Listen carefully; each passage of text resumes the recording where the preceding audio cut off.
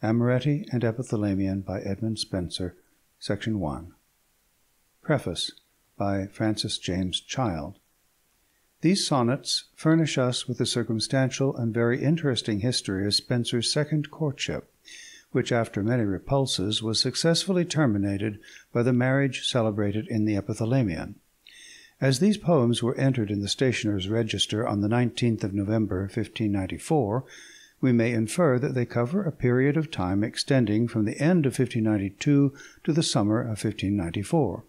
It is possible, however, that these last dates may be a year too late, and that Spenser was married in 1593.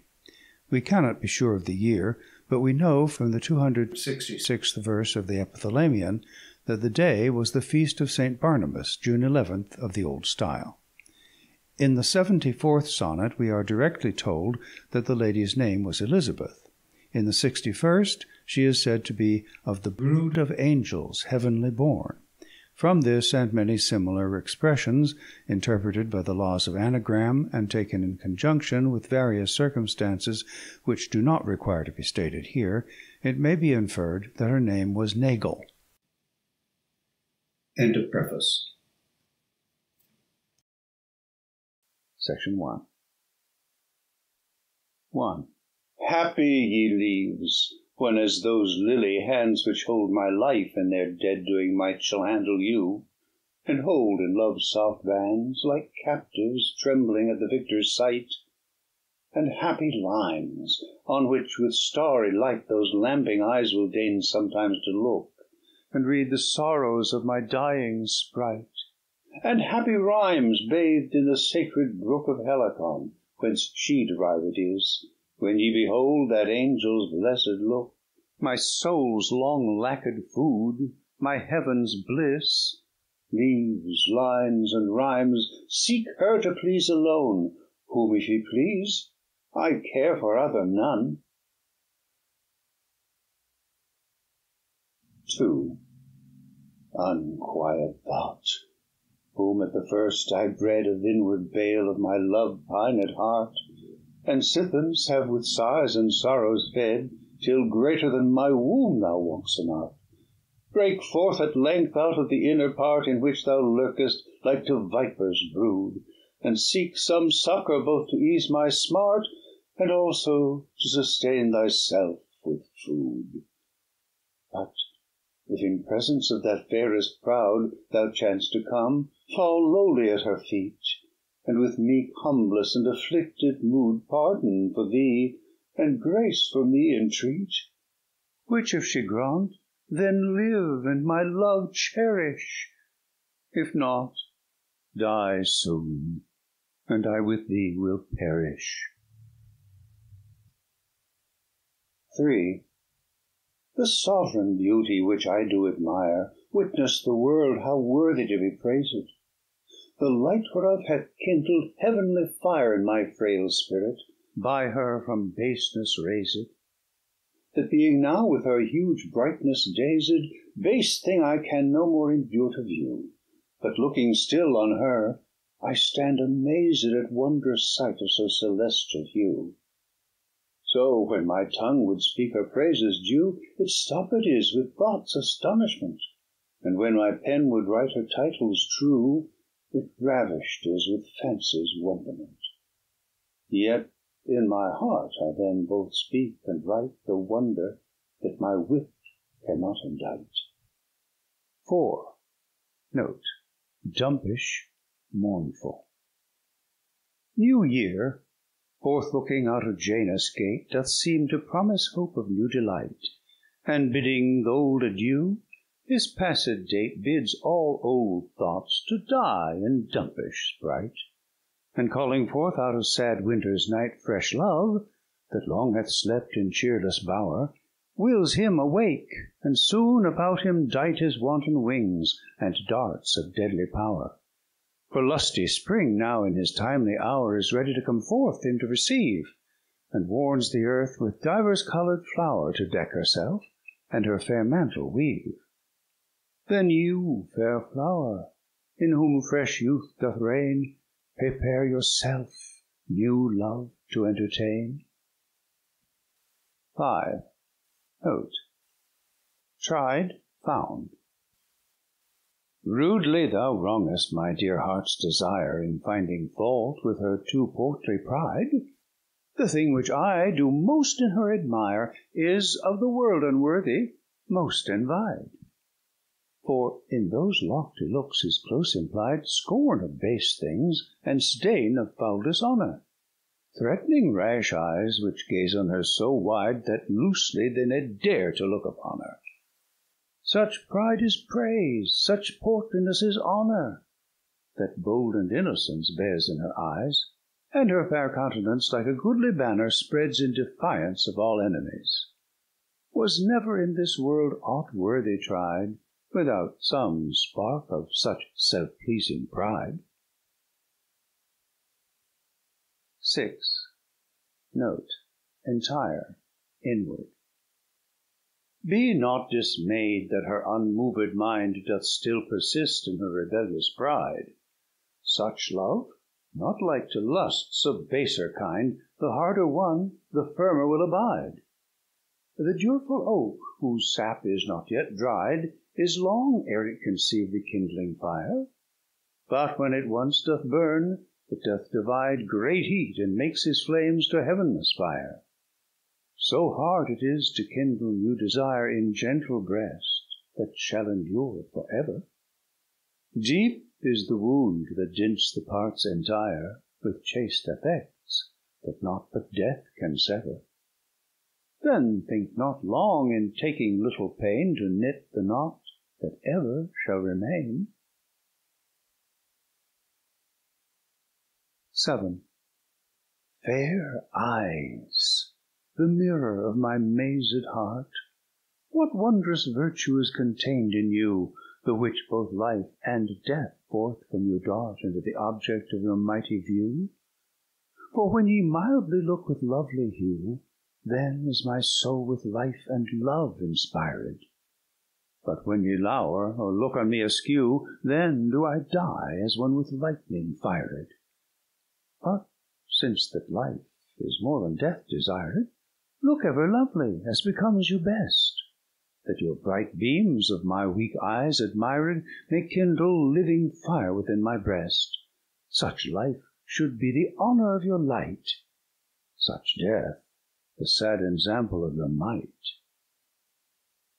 8. More than most fair, full of the living fire Kindled above unto the Maker near, No eyes, but joys in which all powers conspire, That to the world naught else be counted dear. Through your bright beams doth not the blinded guest Shoot out his darts to base affections wound? But angels come to lead frail minds to rest In chaste desires on heavenly beauty bound. You frame my thoughts and fashion me within, You stop my tongue, and teach my heart to speak. You calm the storm that passion did begin, Strong through your cause, but by your virtue weak. Dark is the world where your light shined never; Well is he born that may behold you ever. 9. Long while I sought to what I might compare Those powerful eyes which lighten my dark sprite, Yet find I naught on earth to which I dare resemble the image of their goodly light? Not to the sun, for they do shine by night, nor to the moon, for they are changed never, nor to the stars, for they have purer sight, nor to the fire, for they consume not ever, nor to the lightning, for they still persever, nor to the diamond, for they are more tender, nor into crystal, for not may them sever, nor unto glass such baseness mote offend her. Then to the Maker's self they likest be, Whose light doth lighten all that here we see. 10. Note, make, mate. Unrighteous Lord of love, what law is this That me thou makest thus tormented be? the whiles she lordeth in licentious bliss of her free will, scorning both thee and me. See, how the tyranness doth joy To see the huge massacres which her eyes do make, And humbled hearts brings captive unto thee, That thou of them mayst mighty vengeance take.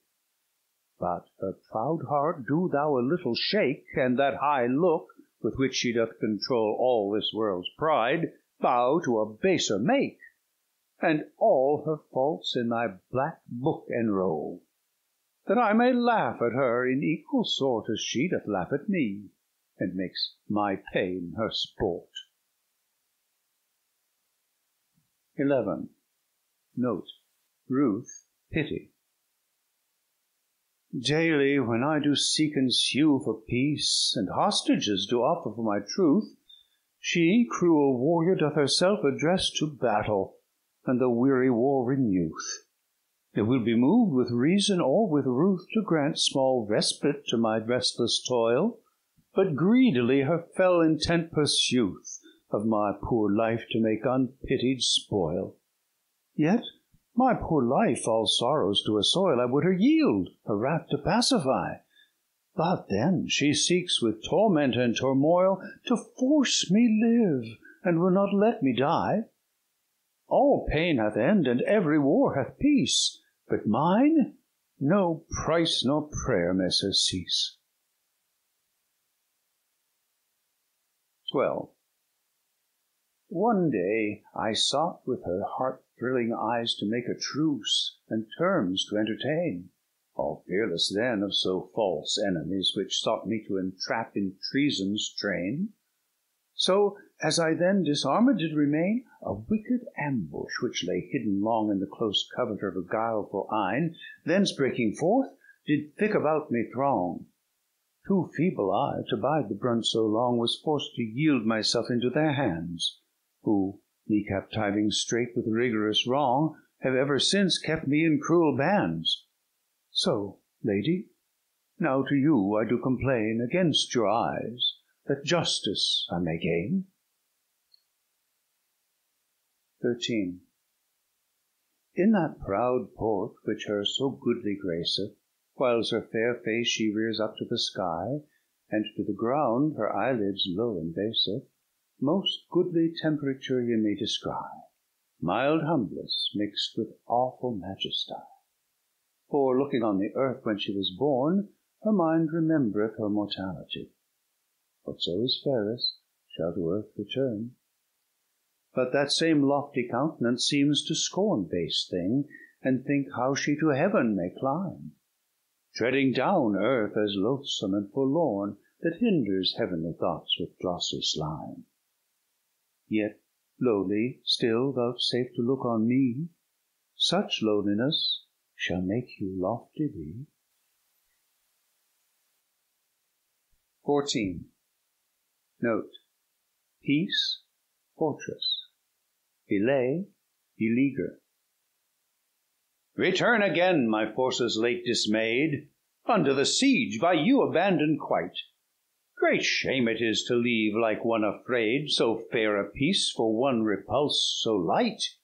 Gainst such strong castles needeth greater might Than those small forts which ye were wont belay. Such haughty minds, inured to hardy fight, Disdain to yield unto the first assay. Bring therefore all the forces that ye may, And lay incessant battery to her heart, Plaints, prayers, vows, ruth, sorrow, and dismay, Those engines can the proudest love convert, And if those fail, fall down and die before her. So dying, live, and living, to adore her. 15. Ye tradeful merchants, that with weary toil Do seek most precious things to make your gain, And both the Indias of their treasure spoil, What needeth you to seek so far in vain? For lo, my love doth in herself contain All this world's riches that may far be found. If sapphires, Lo, her eyes be sapphires plain; If rubies, lo, her lips be rubies sound; If pearls, her teeth be pearls, both pure and round; If ivory, her forehead ivory ween; If gold, her locks are finest gold on ground, If silver her fair hands are silver sheen, but that which fairest is, that few behold, her mind, adorned with virtues manifold. 16. One day, as I unwarily did gaze on those fair eyes, my love's immortal light, the whiles my astonished heart stood in amaze through sweet illusion of her looks' delight, I mote perceive how in her glancing sight legions of loves with little wings did fly, darting their deadly arrows fiery bright at every rash beholder passing by. One of those archers closely I did spy, aiming his arrow at my very heart when suddenly, with twinkle of her eye, the damsel broke his misintended dart. Had she not so done, sure I had been slain. Yet, as it was, I hardly escaped with pain. 17. Note, spill, spoil. The glorious portrait of that angel's face made to amaze weak men's confused skill, and this world's worthless glory to embase, what pen, what pencil can express her fill?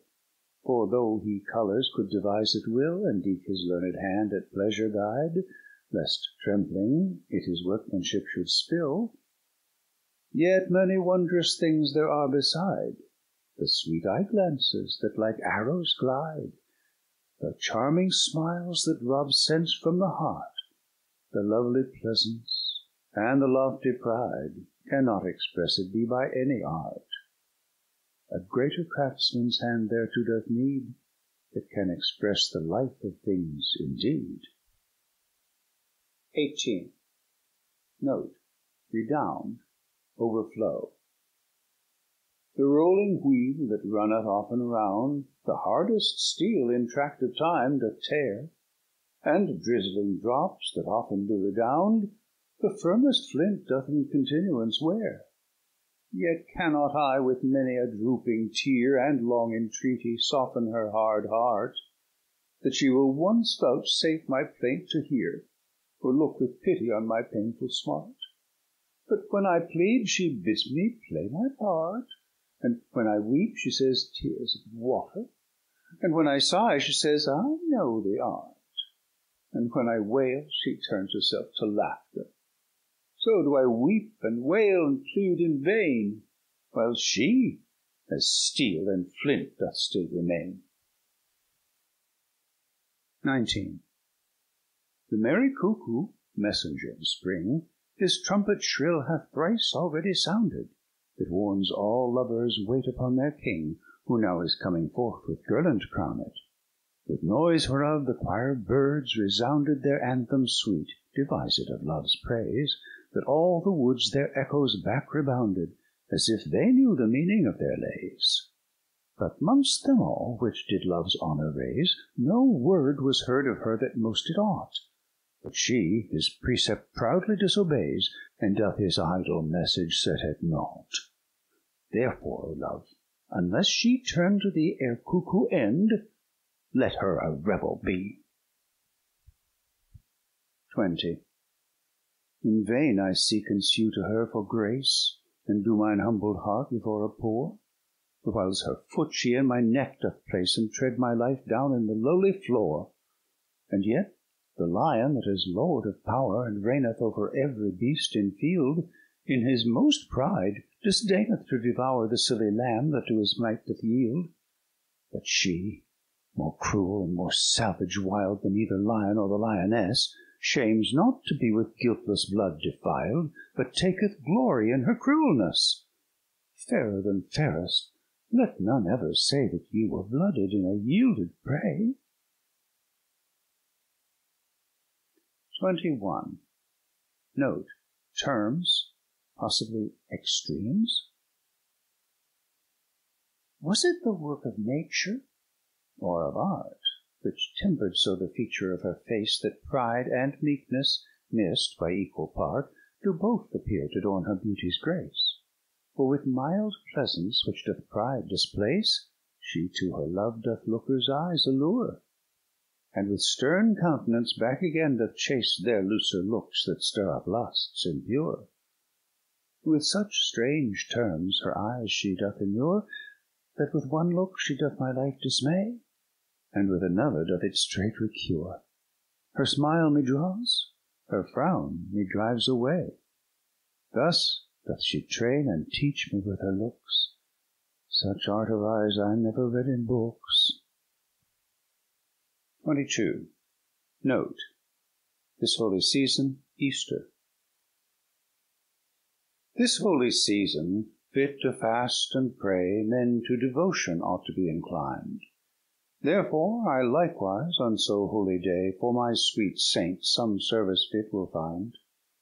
Her temple fair is built within my mind, In which her glorious image placed is, On which my thoughts do day and night attend, Like sacred priests that never think amiss.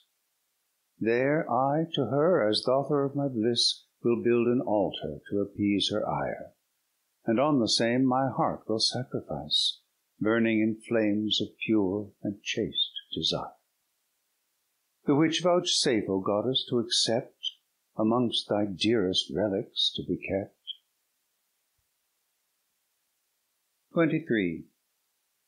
Penelope for her Ulysses sake Devised a web her wooers to deceive, In which the work that she all day did make, The same at night she did again unreave.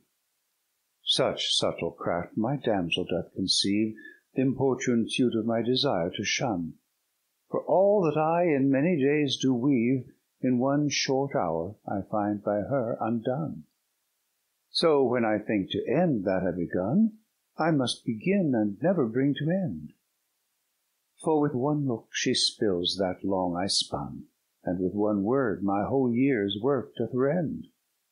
Such labour like the spider's web I find, Whose fruitless work is broken with least wind. 24. When I behold that beauty's wonderment, And rare perfection of each goodly part, Of nature's skill the only complement, I honour and admire the Maker's art. But when I feel the bitter baleful smart, Which her fair eyes unwares do work in me, That death out of their shiny beams do dart, I think that I a new Pandora see, Whom all the Gods in council did agree Into this sinful world from heaven to send, that she to wicked men a scourge should be For all their faults with which they did offend. But since ye are my scourge, I will entreat That for my faults ye will me gently beat. 25. How long shall this like dying life endure, And know no end of her own misery, But waste and wear away in terms unsure, twixt fear and hope depending doubtfully? Yet better were at once to let me die, And show the last ensample of your pride, Than to torment me thus with cruelty, To prove your power, which I too well have tried.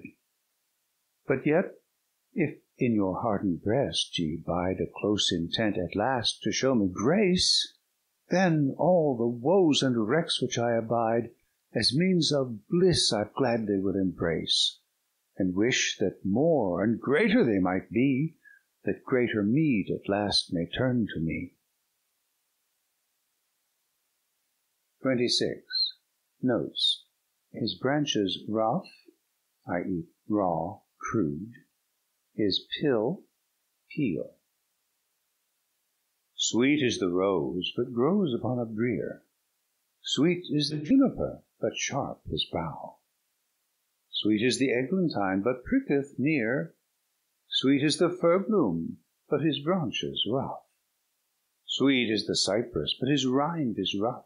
Sweet is the nut, but bitter is his pill. Sweet is the broom flower, but yet sour enough. And sweet is moly, but his root is ill. So every sweet with sour is tempered still, That maketh it be coveted the more. For easy things, that may be got at will, Most sorts of men do set but little store. Why then should I account of little pain, that endless pleasure shall unto me gain.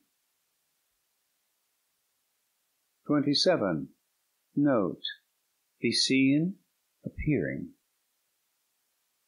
Fair proud, now tell me, why should fair be proud? Sith all world's glory is but dross unclean, And in the shade of death itself shall shroud, However now thereof ye little ween. That goodly idol, now so gay beseen, Shall doff her flesh's borrow'd fair attire, And be forgot as it had never been, That many now much worship and admire. Ne any then shall after it inquire, Ne any mention shall thereof remain, But what this verse, that never shall expire, Shall to you purchase with her thankless pain. Fair, be no lenger proud of that shall perish, but that which shall you make immortal cherish. 28. Notes. The badge which I do bear, as Poet Laureate, lovely, loving. The laurel leaf which you this day do wear Gives me great hope of your relenting mind, For since it is the badge which I do bear, Ye, bearing it, do seem to me inclined. The power thereof, which oft in me I find, Let it likewise your gentle breast inspire With sweet infusion, and put you in mind Of that proud maid whom now those leaves attire. Proud Daphne, scorning Phoebus' lovely fire, On the Thessalian shore from him did fly, For which the Gods in their revengeful ire did her transform into a laurel tree. Then fly no more, fair love, from Phoebus' chase, But in your breast his leaf and love embrace. 29. See how the stubborn damsel doth deprave My simple meaning with disdainful scorn, And by the bay which I unto her gave, Accounts myself her captive quite forlorn. The bay, quoth she, is of the victors born, Yielded them by the vanquished as their meeds, And they therewith do poets' heads adorn, To sing the glory of their famous deeds. But sith she will the conquest challenge needs, Let her accept me as her faithful thrall, That her great triumph, which my skill exceeds, I may in trump of fame blaze over all. Then would I deck her head with glorious bays, And fill the world with her victorious praise. 30. Note, delayed, tempered.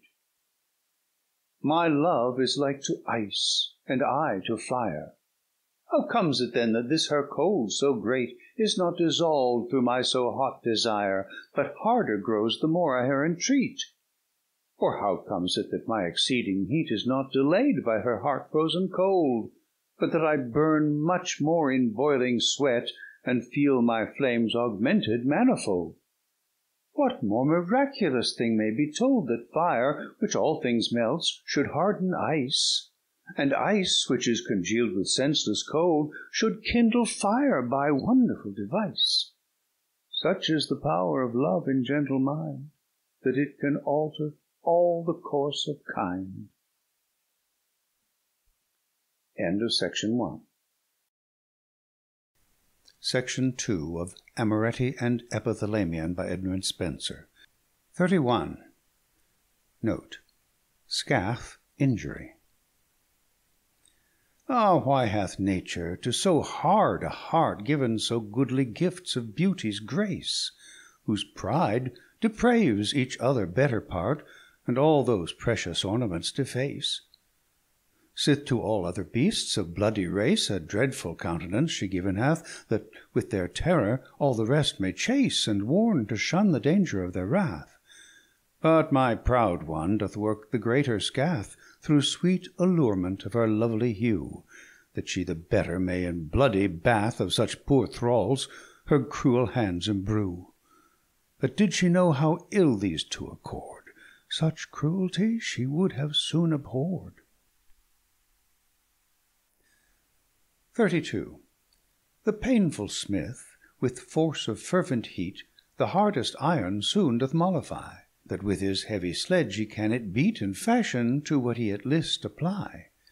Yet cannot all these flames in which I fry her heart more hard than iron soft a whit, nay, all the plaints and prayers with which I do beat on th' anvil of her stubborn wit.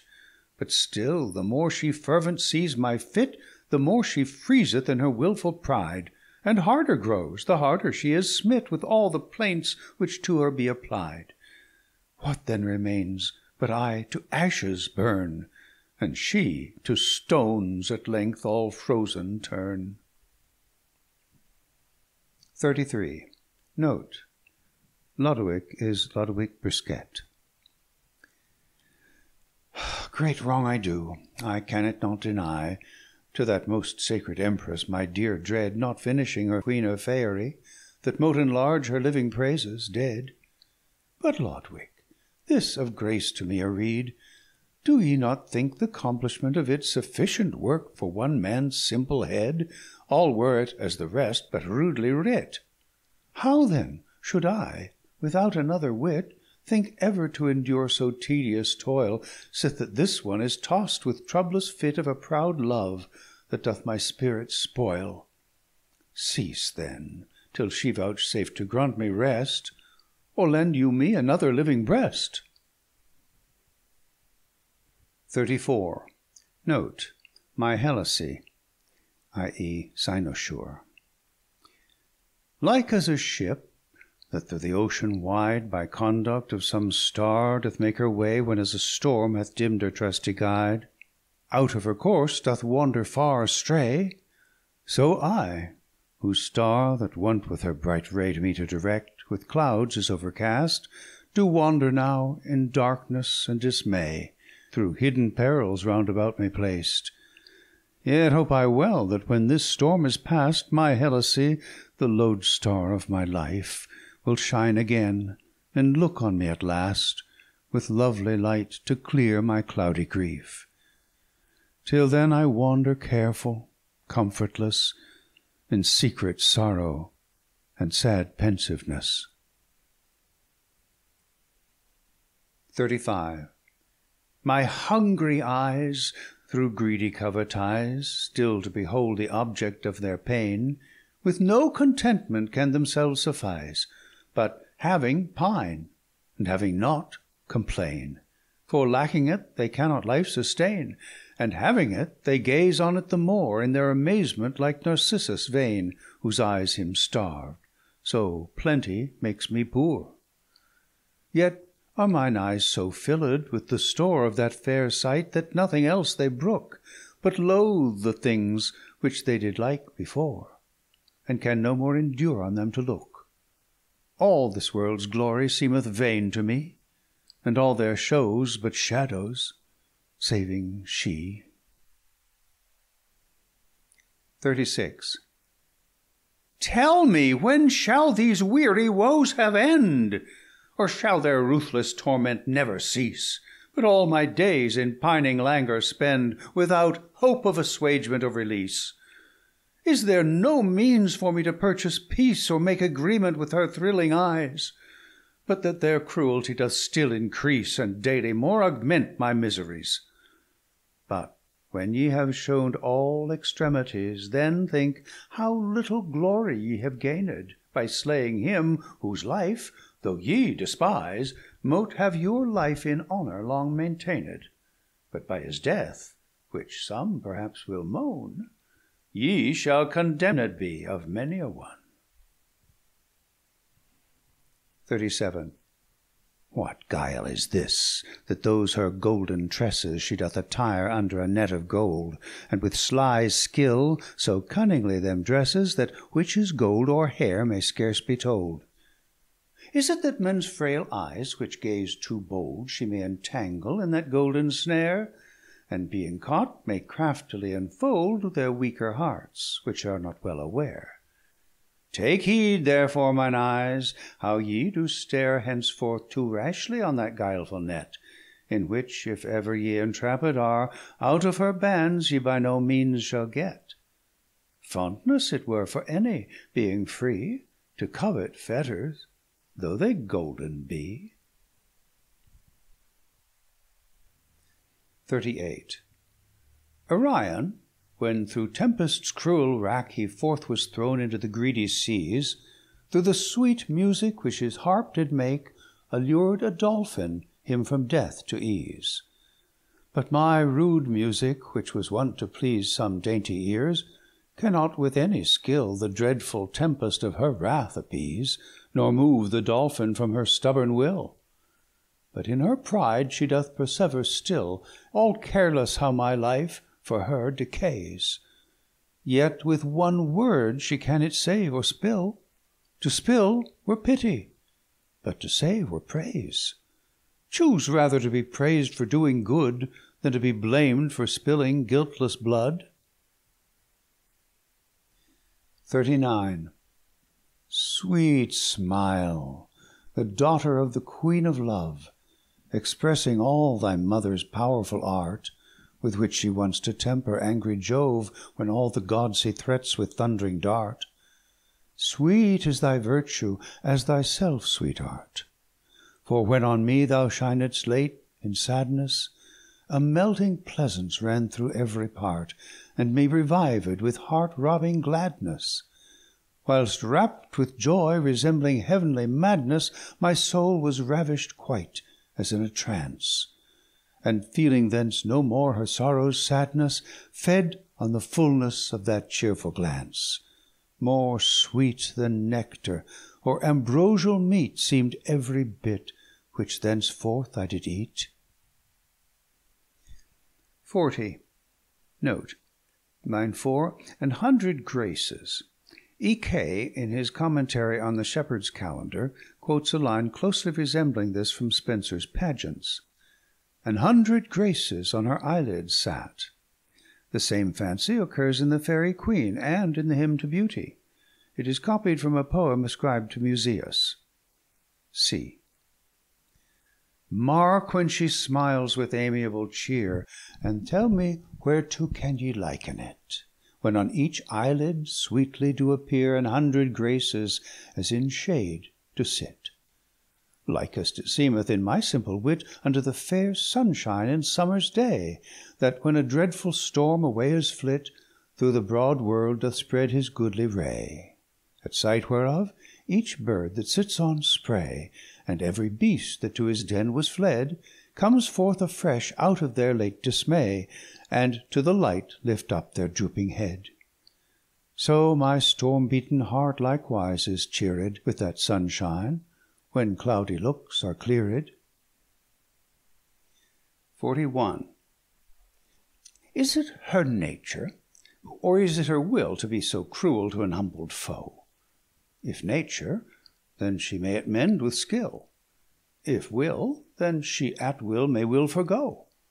But if her nature and her will be so, That she will plague the man that loves her most, And take delight in creech the wretches woe, Then all her nature's goodly gifts are lost, And that same glorious beauty's idle boast Is but a bait such wretches to beguile, As being long in her love's tempest tossed She means at last to make her piteous spoil.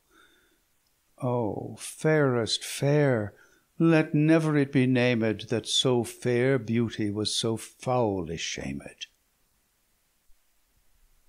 42.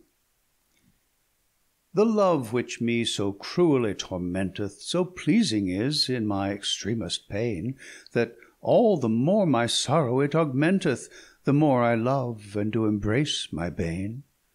Ne do I wish, for wishing were but vain, To be acquit for my continual smart, But joy her thrall for ever to remain, And yield for pledge my poor and captived heart; The which, that it from her may never start, Let her, if please her, bind with adamant chain, And from all wandering loves, which mote pervart His safe assurance, strongly it restrain.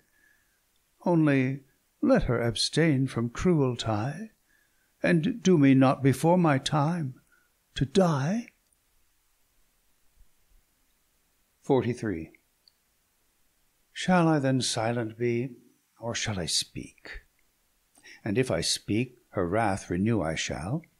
And if I silent be, my heart will break, Or choked be with overflowing gall. What tyranny is this, both my heart to thrall, And eke my tongue with proud restraint to tie, That neither I may speak nor think at all, But like a stupid stock in silence die? Yet I my heart with silence secretly Will teach to speak, and my just cause to plead and eke mine eyes with meek humility Love learned letters to her eyes to read, Which her deep wit, that true hearts thought can spell, Will soon conceive, and learn to construe well. 44. When those renowned noble peers of Greece Through stubborn pride among themselves did jar, Forgetful of the famous golden fleece, then Orpheus with his harp their strife did bar. But this continual cruel civil war, The which myself against myself do make, Whilst my weak powers of passions wearied are, No skill can stint, nor reason can aslake. But when in hand my tuneless harp I take, Then do I more augment my foes' despite, And grief renew, and passions do awake To battle, fresh against myself to fight. 'Mongst whom the more I seek to settle peace, The more I find their malice to increase. 45. Note Visnomy, countenance. Leave, lady, in your glass of crystal clean Your goodly self for evermore to view, And in myself, my inward self I mean, Most lively like behold your semblant true.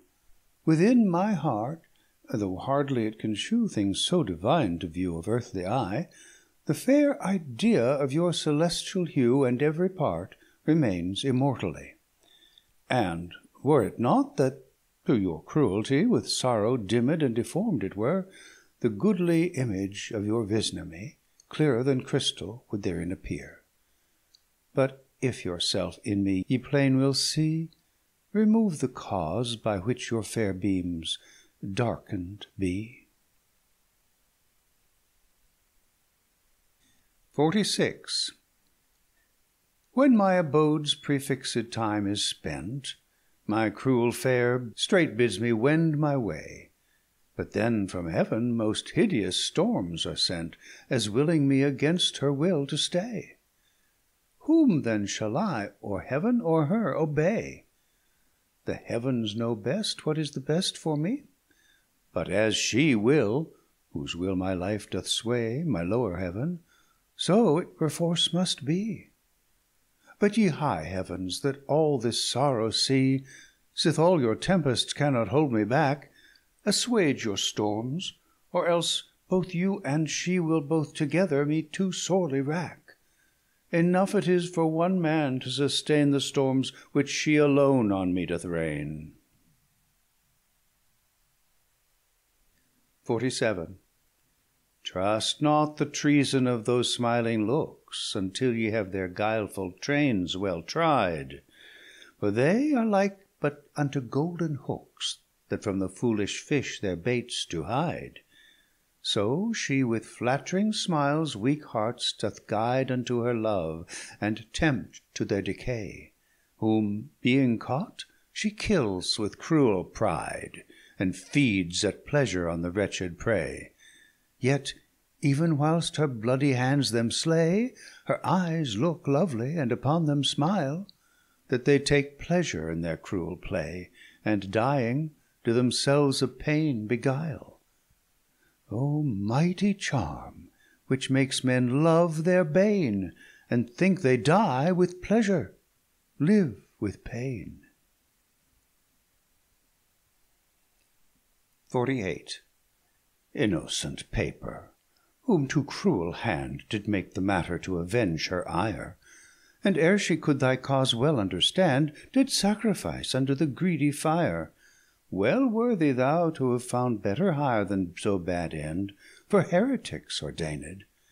Yet heresy nor treason didst conspire, But plead thy Maister's cause, unjustly pained, Whom she all careless of his grief, constrained To utter forth the anguish of his heart, and would not hear, When he to her complained the piteous passion Of his dying smart; yet live for ever, Though against her will, and speak her good, Though she requite it ill.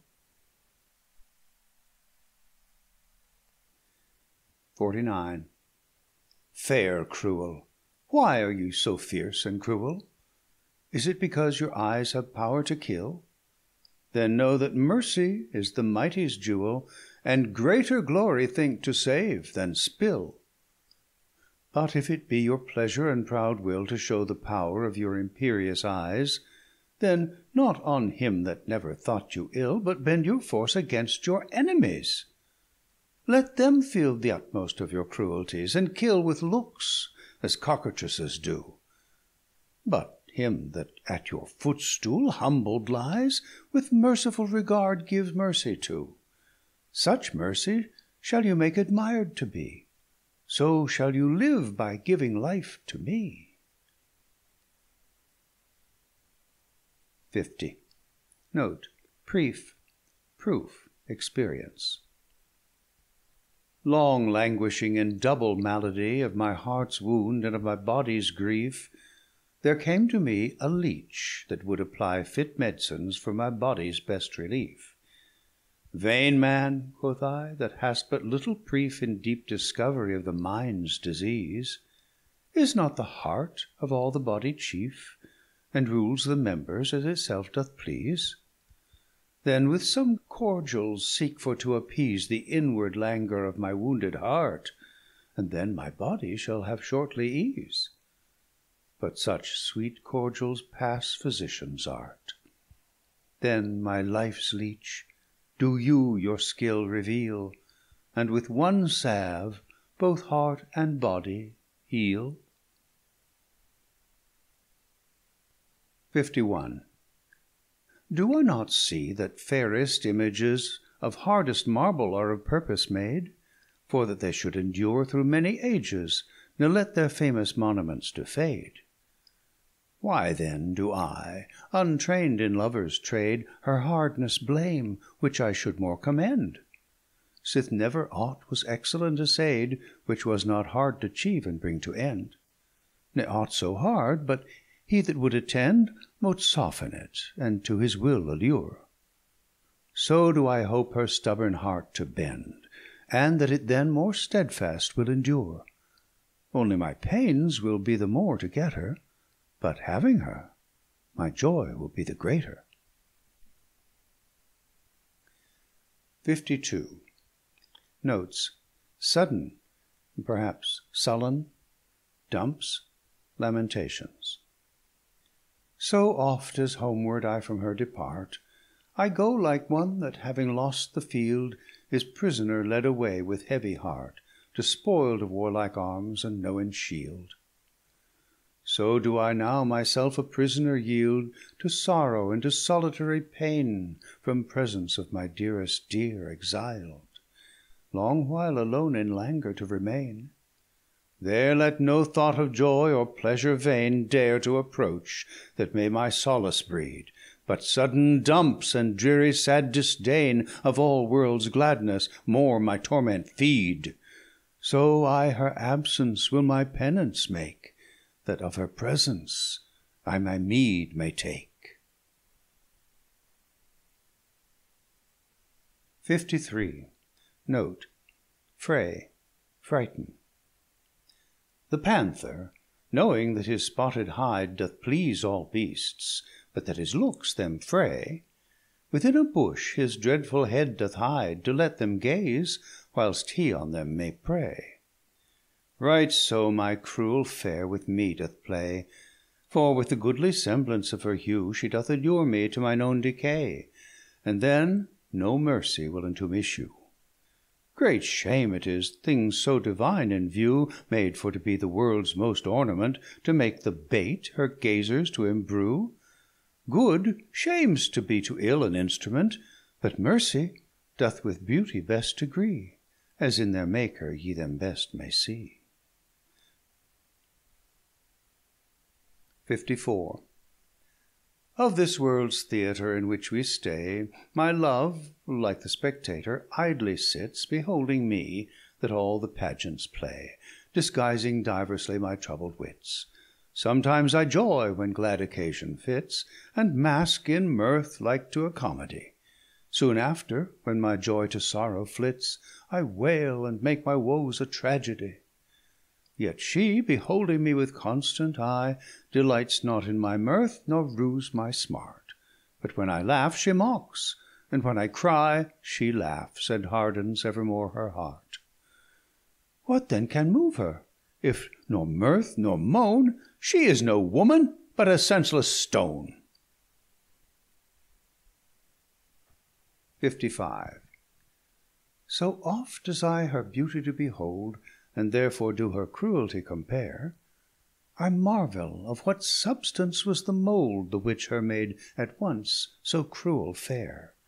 Not earth, for her high thoughts more heavenly are; Not water, for her love doth burn like fire; Not air, for she is not so light or rare; Not fire, for she doth freeze with faint desire then needs another element enquire, Whereof she mote be made, that is the sky.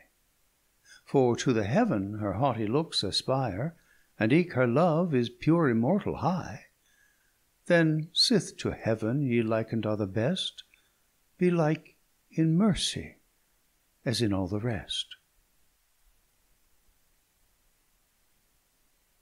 56.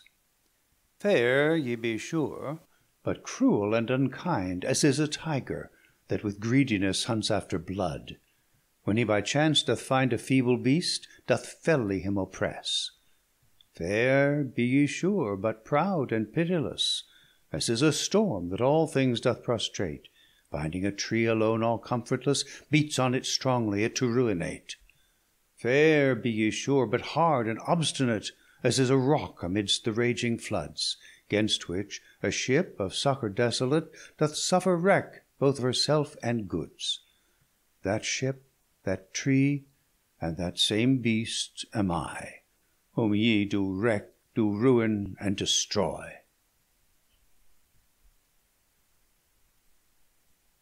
LVII. Note. Stewers agitations. Sweet warrior, when shall I have peace with you? High time it is this war now ended were, Which I no lenger can endure to sue, Ne your incessant battery more to bear. So weak my powers, so sore my wounds appear, That wonder is how I should live a jot, Seeing my heart through lanced everywhere With thousand arrows which your eyes have shot. Yet shoot ye sharply still, and spare me not, But glory think to make these cruel stewers. Ye cruel one, what glory can be got In slaying him that would live gladly yours? Make peace therefore, and grant me timely grace, That all my wounds will heal in little space. LVIII. Notes. In the phrase prefixed to this sonnet, by her, etc., by is perhaps a misprint for to or this title may belong to Sonnet 59, H. Prayed, preyed upon.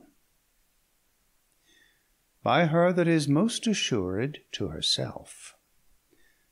Weak is the assurance that weak flesh reposeth In her own power, and scorneth others' aid; That soonest falls, whenas she most supposeth Herself assured, and is of nought afraid.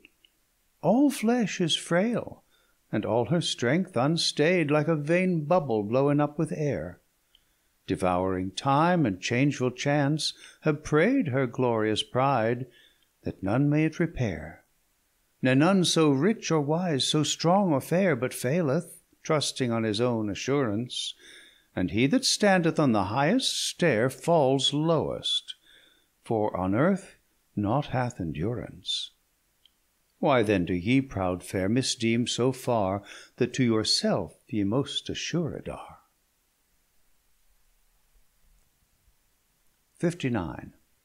Thrice happy she that is so well assured Unto herself, and settled so in heart, That neither will for better be allured, Ne fear'd with worse to any chance to start; But like a steady ship doth strongly part The raging waves, and keeps her course aright; Ne aught for tempest doth from it depart, Ne aught for fairer weathers false delight.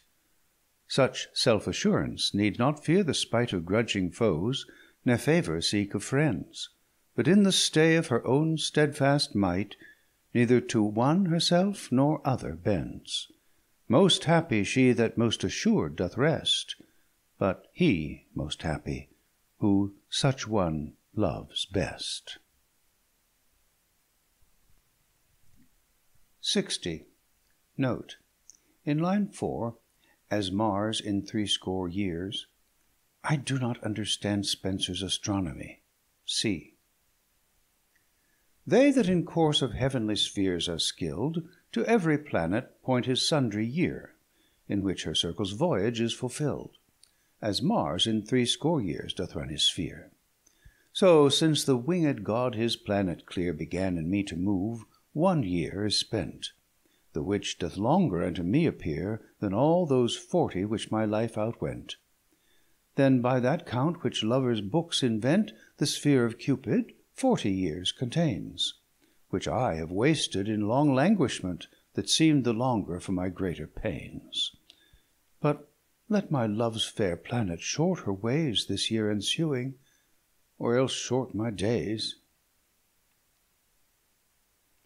Of Part II. Of Amoretti and Epithalamion, by Edmund Spenser. Section 3 61. The glorious image of my Maker's beauty, My sovereign saint, the idol of my thought, Dare not henceforth above the bounds of duty to accuse of pride, or rashly blame for aught. For being, as she is, divinely wrought, And of the brood of Angels heavenly born, And with a crew of blessed Saints upbrought, Each of which did her with their gifts adorn, The bud of joy, the blossom of the morn, The beam of light, whom mortal eyes admire; What reason is it then but she should scorn Base things, that to her love too bold aspire? Such heavenly forms ought rather worshipp'd be, than dare be lov'd by men of mean degree. 62. Note, Blend, blemish. The weary year his race now having run, The new begins his compass'd course anew; With show of morning mild he hath begun, Betokening peace and plenty to ensue. So let us, which this change of weather view, Change eke our minds, and former lives amend; The old years sinnes forpast let us eschew, And fly the faults with which we did offend. Then shall the new years joy forth freshly send Into the glooming world his gladsome ray; And all these storms, which now his beauty blend, Shall turn to calms, and timely clear away.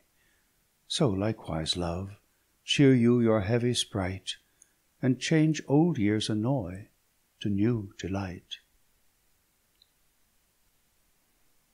63.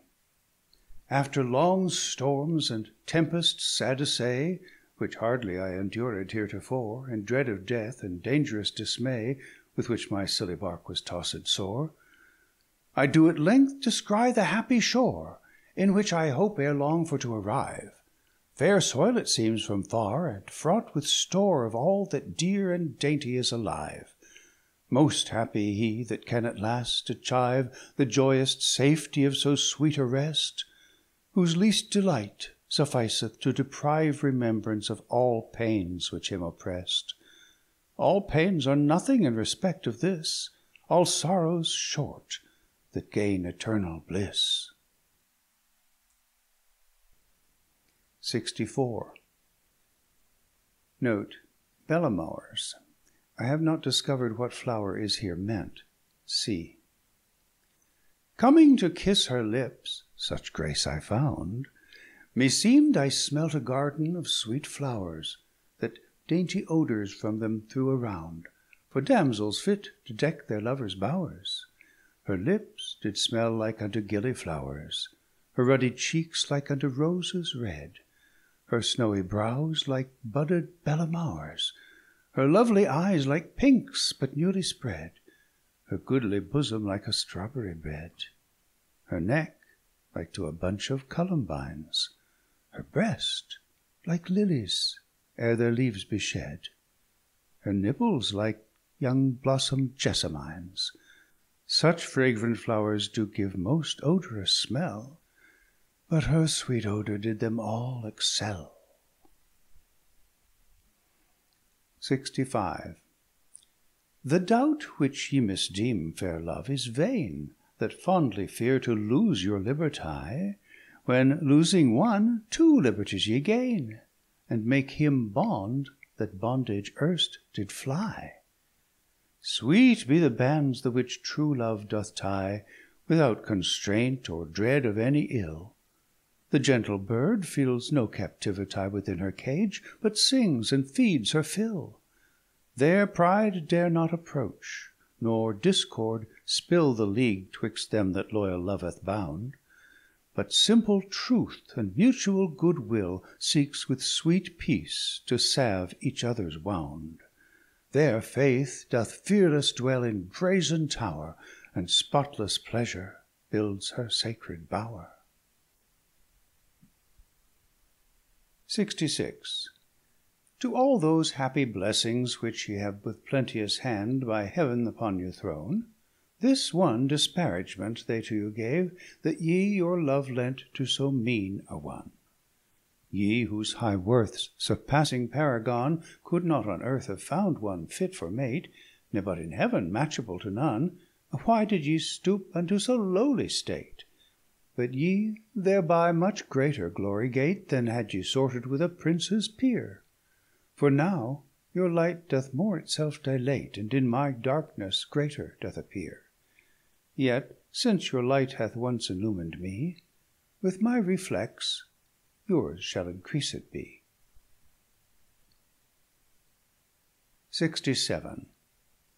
Like as a Huntsman after weary chase, Seeing the game from him escaped away, Sits down to rest him in some shady place, With panting hounds beguiled of their prey; So after long pursuit and vain assay, When I all weary had the chase forsook, The gentle deer return'd the self same way, Thinking to quench her thirst at the next brook. There she, beholding me with milder look, Sought not to flie, but fearless still did bide, Till I in hand her yet half trembling took, And with her own good will her firmly tied. Strange thing meseem'd to see a beast so wild, So goodly won, with her own will beguil'd. 68. Note, Harrowed, despoil'd. Most glorious Lord of life, that on this day Didst make thy triumph over death and sin, And having harrow'd Hell, didst bring away Captivity thence captive us to win; This joyous day, dear Lord, with joy begin, And grant that we for whom thou didst die, Being with thy dear blood clean wash'd from sin, May live for ever in felicitie; And that thy love we weighing worthily, May likewise love thee for the same again; And for thy sake, that all like dear didst buy, With love may one another entertain. So let us love, dear love, like as we ought; Love is the lesson which the Lord us taught. 69. The famous warriors of the antique world Used trophies to erect in stately wise, In which they would the records have enroll'd Of their great deeds and valorous emprise. What trophy then shall I most fit devise, In which I may record the memory Of my loves conquest, peerless beauty's prize, Adorn'd with honour, love, and chastity? Even this verse vow'd to eternity, Shall be thereof immortal monument, And tell her praise to all posterity That may admire such worlds rare wonderment; The happy purchase of my glorious spoil, Gotten at last with labour and long toil. 70. Notes. Make, mate. Prime, spring. Fresh spring, the herald of love's mighty king, In whose coat armour richly are display'd All sorts of flowers, the which on earth do spring, In goodly colours, gloriously array'd. Go to my love, where she is careless laid, Yet in her winter's bower not well awake; Tell her the joyous time will not be stay'd, Unless she do him by the forelock take.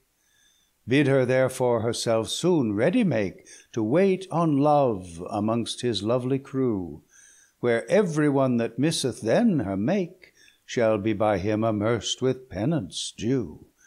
Make haste therefore, sweet Love, while it is prime, For none can call again the passed time. 71.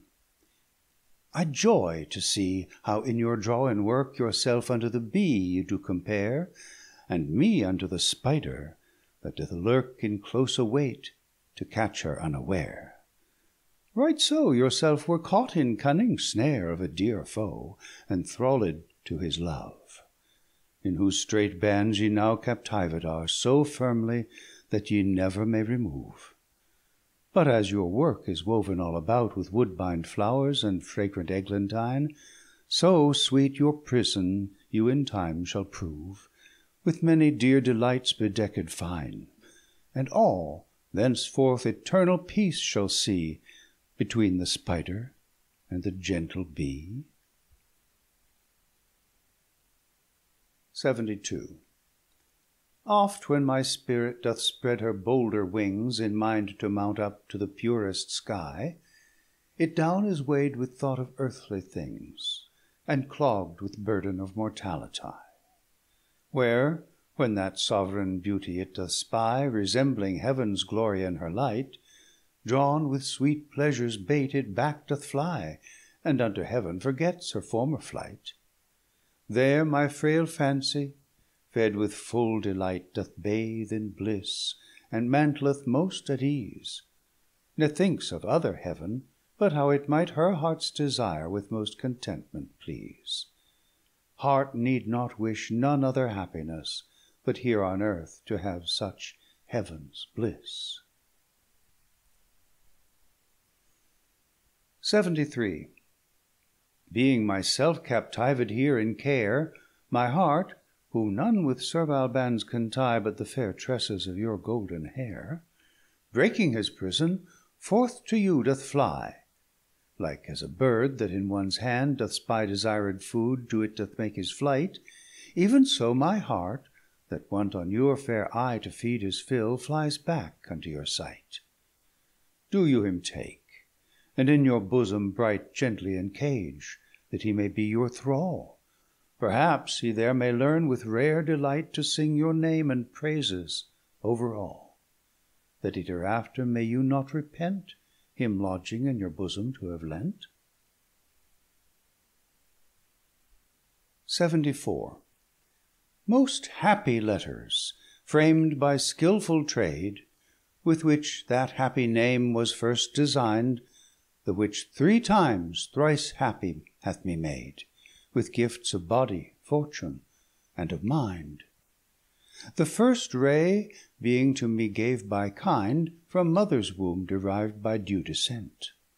The second is my sovereign Queen most kind, That honour and large riches to me lent. The third my love, my life's last ornament, By whom my spirit out of dust was raised, To speak her praise and glory excellent of all alive most worthy to be praised.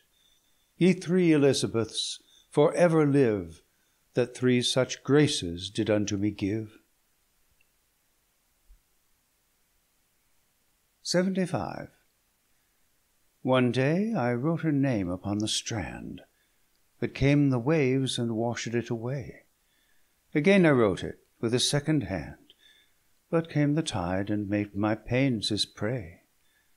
Vain man, said she, that dost in vain essay A mortal thing so to immortalize; For I myself shall like to this decay, And eke my name be wiped out likewise. Not so, quod I, let baser things devise To die in dust, but you shall live by fame. My verse your virtues rare shall eternize, And in the heavens write your glorious name where, when as death shall all the world subdue, Our love shall live, and later life renew.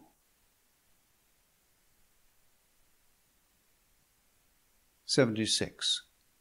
Fair bosom, fraught with virtue's richest treasure, The nest of love, the lodging of delight, The bower of bliss, the paradise of pleasure, The sacred harbour of that heavenly sprite how was I ravish'd with your lovely sight, And my frail thoughts too rashly led astray, Whiles diving deep through amorous insight, On the sweet spoil of beauty they did prey, And 'twixt her paps, like early fruit in May, Whose harvest seem'd to hasten now apace, They loosely did their wanton wings display, And there to rest themselves did boldly place. Sweet thoughts! I envy your so happy rest, Which oft I wish'd, yet never was so blest. LXXVII. Note, Unvalued, invaluable. Was it a dream, or did I see it plain? A goodly table of pure ivory, All spread with junkets, fit to entertain The greatest prince with pompous royalty; Mongst which there in a silver dish did lie Two golden apples of unvalued price, Far passing those which Hercules came by, Or those which Atalanta did entice; Exceeding sweet, yet void of sinful vice, That many sought, yet none could ever taste; Sweet fruit of pleasure, brought from Paradise By Love himself, and in his garden placed. Her breast that table was, so richly spread my thoughts the guests which would thereon have fed. LXXVIII. Lacking my love, I go from place to place Like a young fawn that late hath lost the hind, And seek each where, where last I saw her face, Whose image yet I carry fresh in mind. I seek the fields with her late footing sign'd, I seek her bower with her late presence deckt, Yet nor in field nor bower I can her find, Yet field and bower are full of her aspect; But when mine eyes I thereunto direct, They idly back return to me again, And when I hope to see their true object, I find myself but fed with fancies vain. Cease then mine eyes to seek herself to see, And let my thoughts behold herself in me. 79. Men call you fair, and you do credit it, For that yourself ye daily such do see. But the true fair, that is the gentle wit And virtuous mind, is much more prais'd of me. For all the rest, however fair it be, Shall turn to nought, and lose that glorious hue; But only that is permanent and free from frail corruption that doth flesh ensue. That is true beauty, that doth argue you To be divine, and born of heavenly seed, Derived from that fair Spirit from whom all true And perfect beauty did at first proceed. He only fair, and what he fair hath made; All other fair, like flowers, untimely fade. LXXX. Notes assoil, discharge. Mew, prison, retreat. After so long a race as I have run Through Fairyland, which those six books compile, Give leave to rest me, being half fordone, And gather to myself new breath awhile. Then, as a steed refreshed after toil, Out of my prison I will break anew and stoutly will that second work assoil With strong endeavour and attention due. Till then give leave to me in pleasant mew To sport my Muse, and sing my loves sweet praise, The contemplation of whose heavenly hue My spirit to an higher pitch will raise. But let her praises yet be low and mean, Fit for the handmaid of the fairy Queen. 81.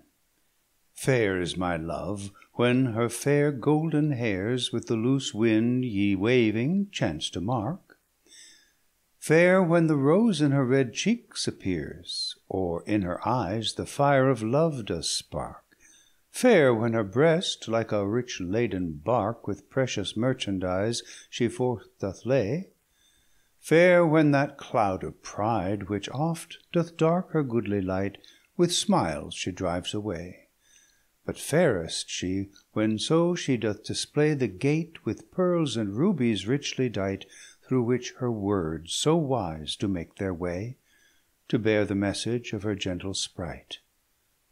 The rest be works of Nature's wonderment, But this the work of heart's astonishment. 82. Note, Invent, light upon, find. Joy of my life, full oft for loving you I bless my lot that was so lucky placed; But then the more your own mishap I rue, That are so much by so mean love embased. For had the equal Heavens so much you graced In this as in the rest, ye mote invent Some heavenly wit, whose verse should have enchased Your glorious name in golden monument. But since ye deign'd so goodly to relent To me your thrall, in whom is little worth, That little that I am shall all be spent In setting your immortal praises forth, Whose lofty argument uplifting me, Shall lift you up unto an high degree. 83. Let not one spark of filthy lustful fire Break out, that may her sacred peace molest ne one light glance of sensual desire Attempt to work her gentle mind's unrest; But pure affections, bred in spotless breast, And modest thoughts breath'd from well temper'd sprites, Go visit her in her chaste bower of rest, Accompanied with angelic delights.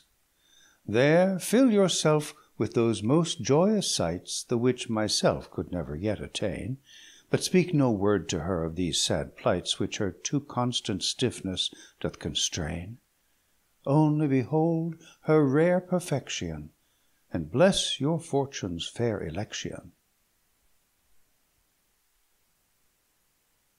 84. Notes. Mavis, Song thrush. Entire, Inward. The world, that cannot deem of worthy things, when I do praise her, say I do but flatter. So does the cuckoo, when the mavis sings, Begin his witless note apace to clatter. But they that skill not of so heavenly matter, All that they know not envy or admire.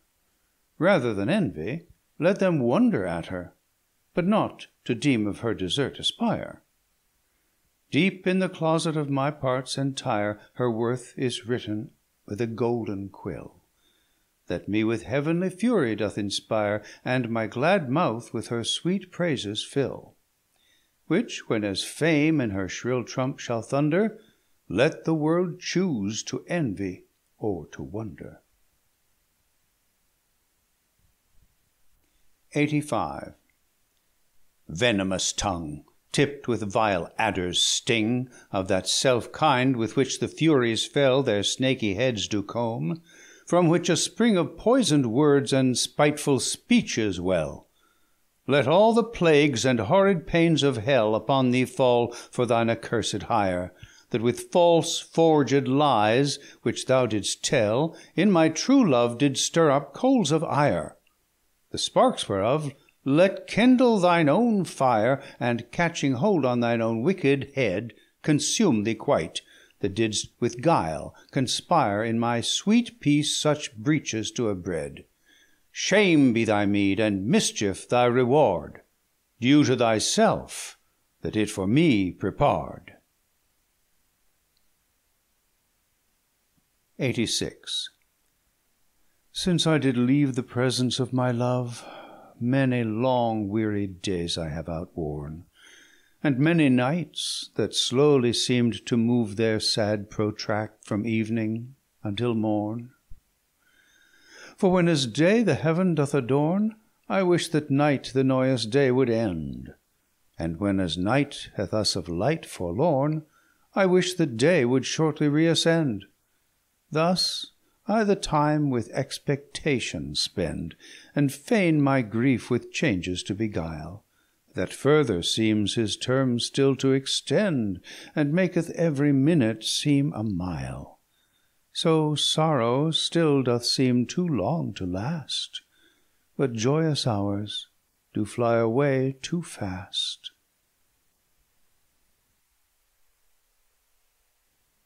Eighty-seven. Since I have lacked the comfort of that light, The which was wont to lead my thoughts astray, I wander as in darkness of the night, Afraid of every danger's least dismay. Nay, aught I see, though in the clearest day, When others gaze upon their shadows vain, but th'only image of that heavenly ray, Whereof some glance doth in mine eye remain; Of which beholding the idea plain, Through contemplation of my purest part, With light thereof I do myself sustain, And thereon feed my love affamisht heart. But with such brightness whilst I fill my mind, I starve my body, and mine eyes do blind.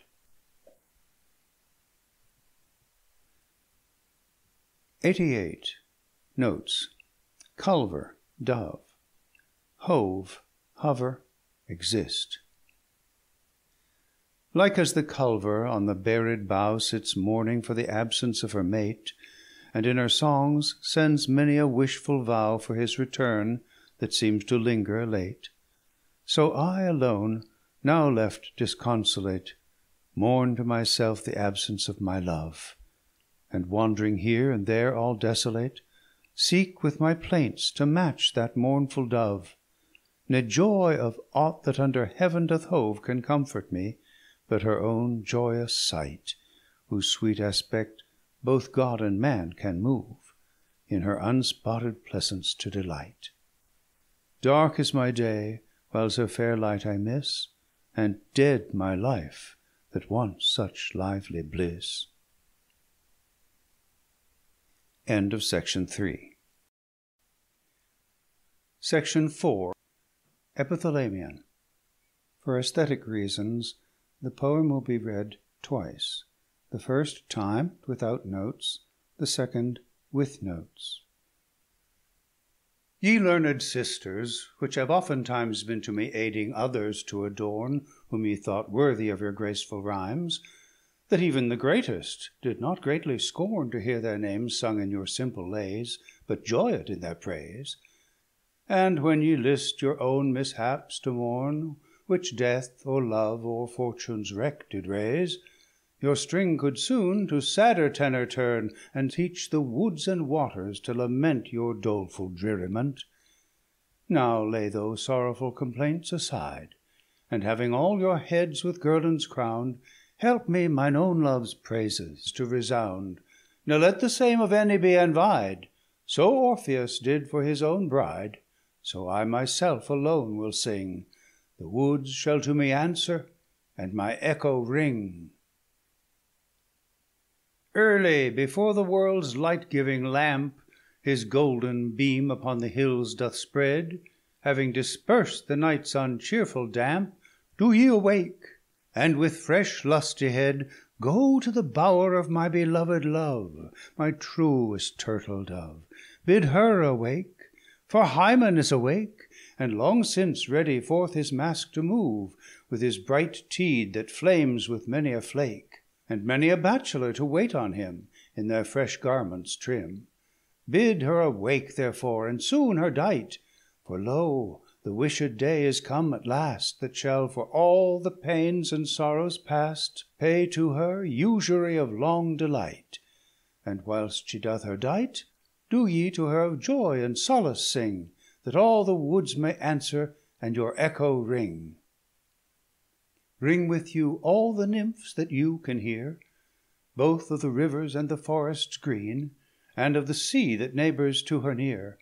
all with gay garlands goodly well beseen, and let them also with them bring in hand Another gay garland for my fair love, Of lilies and of roses, bound true love wise With a blue silk riband; and let them make Great store of bridal poses, and let them eke Bring store of other flowers to deck the bridal bowers; And let the ground, whereas her foot shall tread, For fear the stones her tender foot should wrong, Be strew'd with fragrant flowers all along, And diaper'd like the discolour'd mead; Which done, do at her chamber door await, For she will waken straight; the whiles do ye This song unto her sing, the woods shall to you Answer, and your echo ring.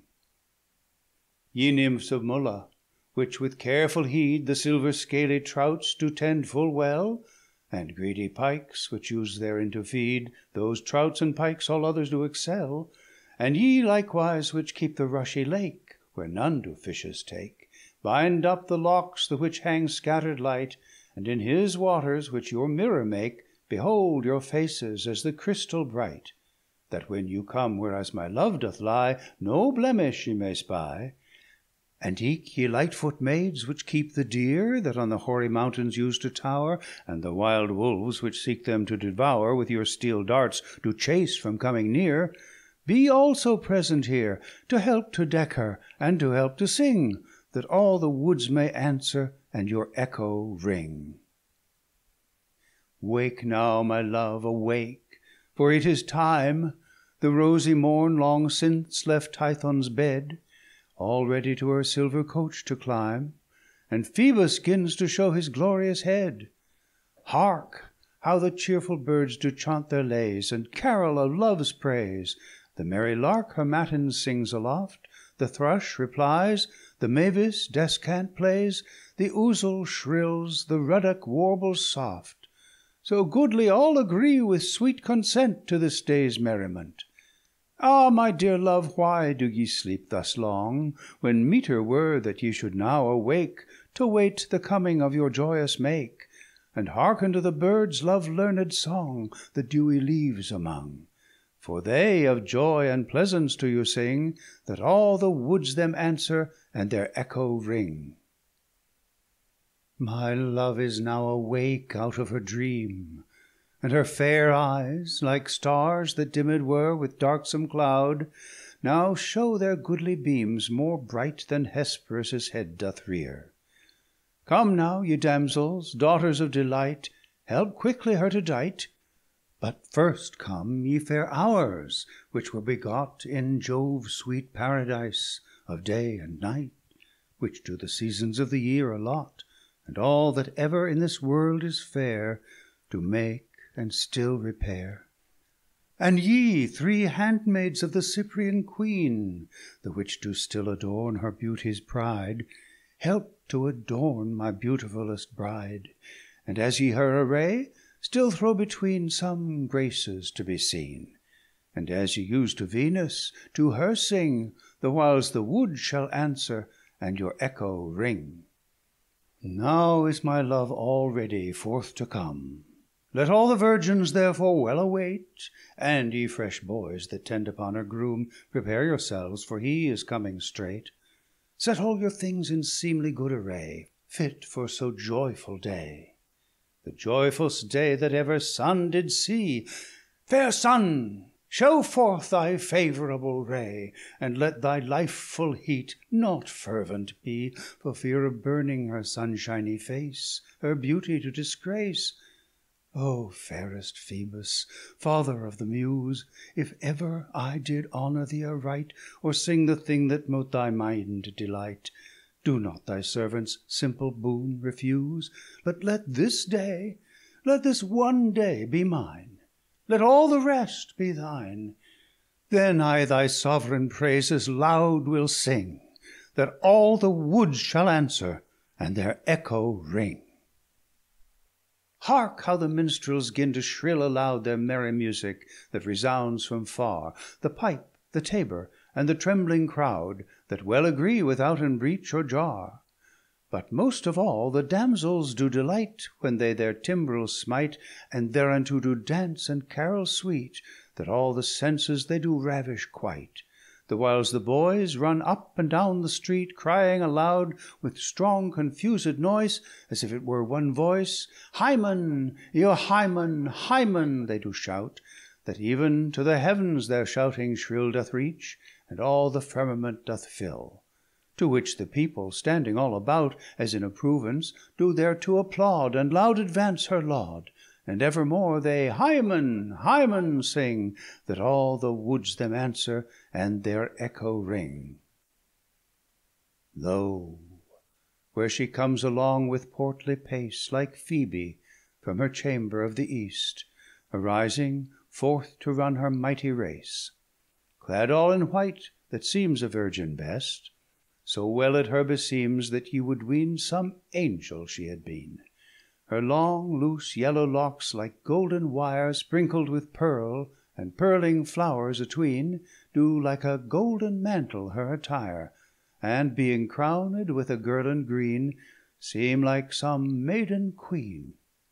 Her modest eyes, abashed to behold So many gazers as on her do stare, Upon the lowly ground affixed are ne dare lift up her countenance too bold, But blush to hear her praises sung so loud, So far from being proud.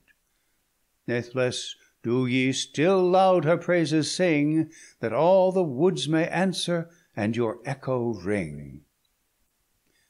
Tell me, ye merchants' daughters, did ye see So fair a creature in your town before, So sweet, so lovely, and so mild as she?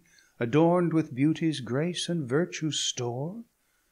Her goodly eyes like sapphires shining bright, Her forehead ivory white, her cheeks Like apples which the sun hath redded, Her lips like cherries charming men to bite, Her breast like to a bowl of cream uncrudded, Her paps like lilies budded, Her snowy neck like to a marble tower, And all her body like a palace fair, Ascending up with many a stately stair To honour's seat, and chastity's sweet bower. Why stand ye still, ye virgins, in amaze Upon her so to gaze, Whiles ye forget your former lay to sing, To which the woods did answer, and your echo ring? But if ye saw that which no eyes can see, The inward beauty of her lively sprite, Garnish'd with heavenly gifts of high degree, much more then would ye wonder at that sight, And stand astonish'd, like to those which read Medusa's mazeful head. There dwells sweet love and constant chastity, Unspotted faith, and comely womanhood, Regard of honour, and mild modesty. There virtue reigns as queen in royal throne, And giveth laws alone, the which the base Affections do obey, and yield their services Unto her will ne thought of things uncomely ever may Thereto approach, to tempt her mind to ill. Had ye once seen these her celestial treasures, And unrevealed pleasures, then would ye wonder, and her praises sing, That all the woods should answer, and your echo ring. Open the temple gates unto my love, Open them wide, that she may enter in, And all the posts adorn as doth behove, And all the pillars deck with guirlands trim, For to receive this Saint with honour due, That cometh in to you. With trembling steps and humble reverence She cometh in before th' Almighty's view. Of her, ye virgins, learn obedience, When so ye come into those holy places To humble your proud faces. Bring her up to thy altar, that she may The sacred ceremonies there partake, The which do endless matrimony make. And let the roaring organs loudly play The praises of the Lord in lively notes, The whiles with hollow throats the choristers The joyous anthem sing, That all the woods may answer, and their echo ring. Behold, while she before the altar stands, Hearing the holy priest that to her speaks, And blesseth her with his two happy hands, How the red roses flush up in her cheeks, And the pure snow with goodly vermel stain, Like crimson dyed in grain, That even the angels, which continually About the sacred altar do remain, Forget their service, and about her fly oft peeping in her face, that seems more fair the more they on it stare. But her sad eyes, still fasten'd on the ground, Are governed with goodly modesty, That suffers not one look to glance awry, Which may let in a little thought unsound. Why blush ye, love, to give to me your hand, The pledge of all our band? Sing, ye sweet Angels, Alleluia sing, That all the woods may answer, and your echo ring. Now all is done, bring home the bride again, Bring home the triumph of our victory, Bring home with you the glory of her game, With joyance bring her, and with jollity. Never had man more joyful day than this, Whom Heaven would heap with bliss. Make feast therefore now all this livelong day, This day for ever to me holy is. Pour out the wine without restraint or stay, Pour not by cups, but by the bellyful, Pour out to all that will, and sprinkle all The posts and walls with wine, that they may sweat, And drunken be withal. Crown ye God Bacchus with a coronal, And Hymen also crown with wreaths of vine, And let the Graces dance unto the rest, For they can do it best the whiles the maidens do their carol sing, To which the woods shall answer, and their echo ring. Ring ye the bells, ye young men of the town, And leave your wonted labours for this day; This day is holy, do ye write it down, That ye for ever it remember may.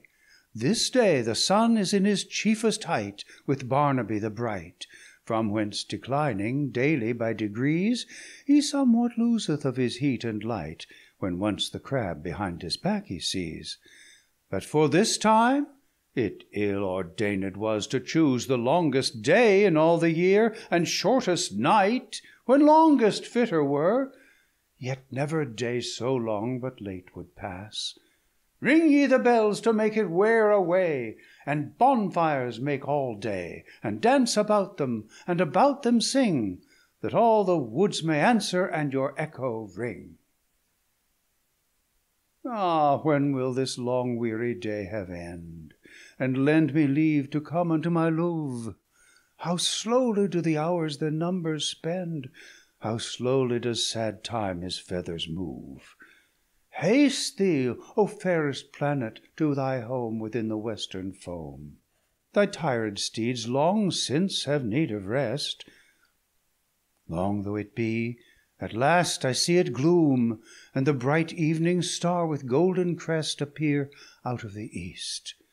Fair child of beauty, glorious lamp of love, That all the host of heaven in ranks dost lead, And guidest lovers through the night's sad dread, how cheerfully thou lookest from above, And seem'st to laugh atween thy twinkling light, As joying in the sight of these glad many, Which for joy do sing, that all the woods Them answer, and their echo ring. Now cease, ye damsels, your delights forepast; Enough it is that all the day was yours; Now day is done, and night is nighing fast. Now bring the bride unto the bridal bowers. The night is come; now soon her disarray, And in her bed her lay; Lay her in lilies and in violets, And silken curtains over her display, And odour'd sheets, and arras coverlets. Behold how goodly my fair love does lie In proud humility, Like unto Maia, when as Jove her took In Tempe, lying on the flowery grass 'Twixt sleep and wake after she weary was With bathing in the Acidalian brook. Now it is night, ye damsels may be gone, And leave my love alone; And leave likewise your former lay to sing; The woods no more shall answer, nor your echo ring. Now welcome night, thou night so long expected, That long days labour dost at last defray and all my cares, which cruel love collected, Hast summ'd in one, and cancelled for aye. Spread thy broad wing over my love and me, That no man mayest see, and in thy sable mantle us enwrap, From fear of peril and foul horror free. Let no false treason seek us to entrap, Nor any dread disquiet once annoy The safety of our joy; but let the night Be calm and quietsome, without tempestuous storms, Or sad affray, like as when Jove with fair Alcmena lay, When he begot the great Tirynthian groom; Or like as when he with thyself did lie, And begot Majesty. And let the maids and young men cease to sing, nor let the woods them answer, nor their echo ring. Let no lamenting cries, nor doleful tears Be heard all night within, nor yet without nor let false whispers, breeding hidden fears, Break gentle sleep and misconceived doubt. Let no deluding dreams, nor dreadful sights Make sudden sad affrights; ne let house fires, Nor lightnings, helpless harms; ne let the Puck, Nor other evil sprites; ne let mischievous witches with their charms; Ne let hobgoblins, names whose sense we see not, Fray us with things that be not. Let not the screech owl nor the stork be heard, Nor the night raven that still deadly yells, Nor damned ghosts call'd up with mighty spells, Nor grisly vultures make us once afeard; Ne let th' unpleasant choir of frogs still croaking Make us to wish their choking; Let none of these their dreary accents sing, Ne let the woods them answer, nor their echo ring.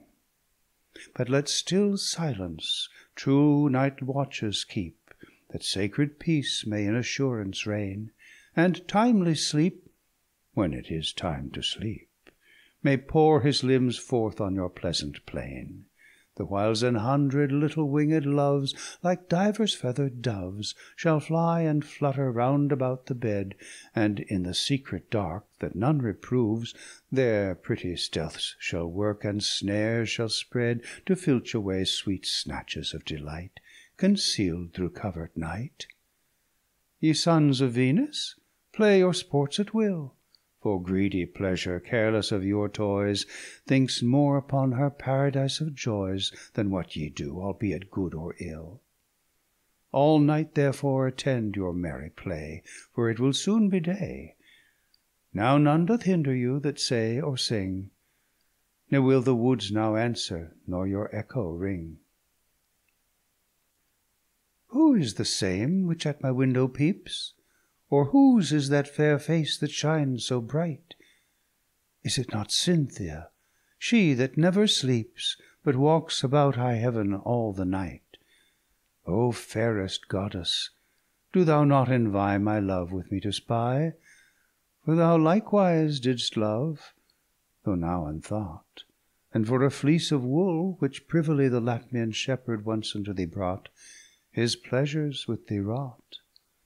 Therefore to us be favourable now; And sith of women's labours thou hast charge, And generation goodly dost enlarge, Incline thy will t'effect our wishful vow, And the chaste womb inform with timely seed, That may our comfort breed; till which we cease Our hopeful hap to sing, ne let the woods Us answer, nor our echo ring.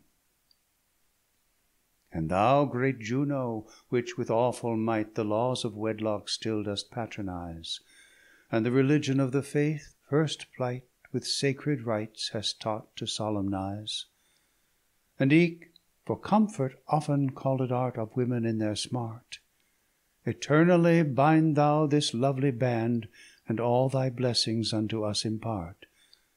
And thou, glad Genius, in whose gentle hand The bridal bower and genial bed remain, Without blemish or stain, And the sweet pleasures of their love's delight With secret aid dost succour and supply, Till they bring forth the fruitful progeny. Send us the timely fruit of this same night; And thou, fair Hebe, and thou, Hymen free, Grant that it may so be; till which we cease Your further praise to sing, Ne any woods shall answer, nor your echo ring. And ye high heavens, the temple of the Gods, in which a thousand torches flaming bright do burn, that to us wretched earthly clods in dreadful darkness lent desired light, and all ye powers which in the same remain, more than we men can feign, pour out your blessing on us plenteously, and happy influence upon us reign, that we may raise a large posterity, which from the earth which they may long possess with lasting happiness, up to your haughty palaces may mount, and for the guerdon of their glorious merit, may heavenly tabernacles there inherit, of blessed saints for to increase the count. So let us rest, sweet love, in hope of this, and cease till then our timely joys to sing. The woods no more us answer, nor our echo ring. Song made in you of many ornaments, With which my love should duly have been decked, Which cutting off through hasty accidents, Ye would not stay your due time to expect, But promised both to recompense, Be unto her a goodly ornament, And for short time an endless monument. Here follows a second reading of Epithalamion, with notes each note prefixed to the stanza to which it pertains. Ye learned sisters, which have oftentimes been to me aiding others to adorn, whom ye thought worthy of your graceful rhymes, that even the greatest did not greatly scorn to hear their names sung in your simple lays, but joyed in their praise. And when ye list your own mishaps to mourn, which death, or love, or fortune's wreck did raise, your string could soon to sadder tenor turn, And teach the woods and waters to lament Your doleful dreariment. Now lay those sorrowful complaints aside, And having all your heads with guerdons crown'd, Help me mine own love's praises to resound, Ne let the same of any be envied; So Orpheus did for his own bride, So I myself alone will sing, The woods shall to me answer, and my echo ring. Notes on the following stanza: Tead, torch. Dight, deck. Early before the world's light giving lamp His golden beam upon the hills doth spread, Having dispersed the night's uncheerful damp, Do ye awake, and with fresh lusty head Go to the bower of my beloved love, My truest turtle dove; bid her awake, For Hymen is awake and long since ready forth his mask to move, With his bright tead that flames with many a flake, And many a bachelor to wait on him, In their fresh garments trim. Bid her awake therefore, and soon her dight, For lo, the wished day is come at last, That shall for all the pains and sorrows past Pay to her usury of long delight.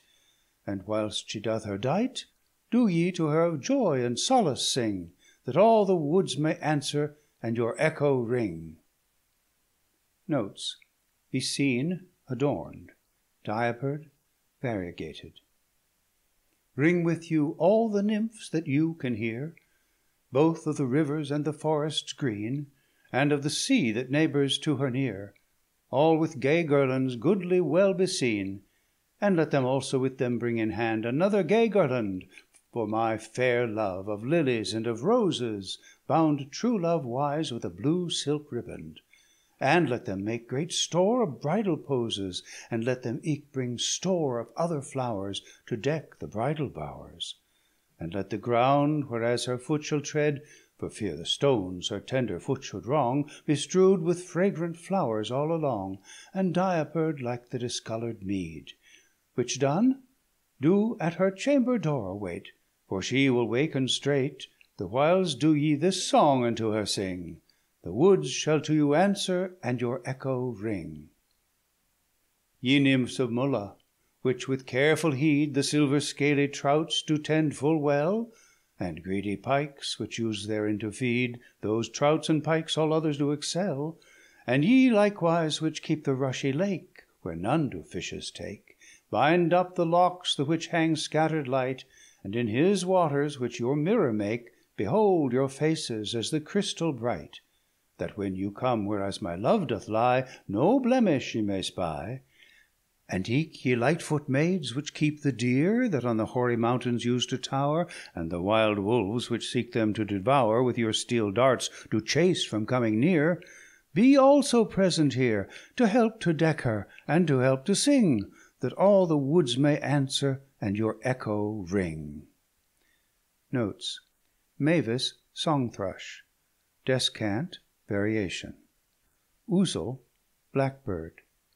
Ruddock, redbreast. Make, mate. Wake now, my love, awake, for it is time.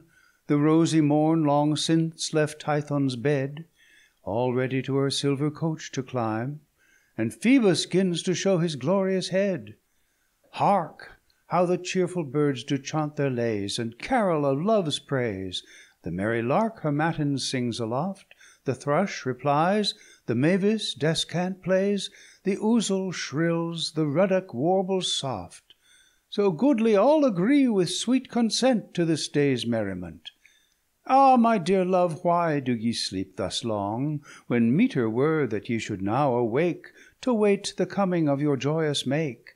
And hearken to the birds' love learned song, The dewy leaves among; For they of joy and pleasance to you sing, That all the woods them answer, and their echo ring.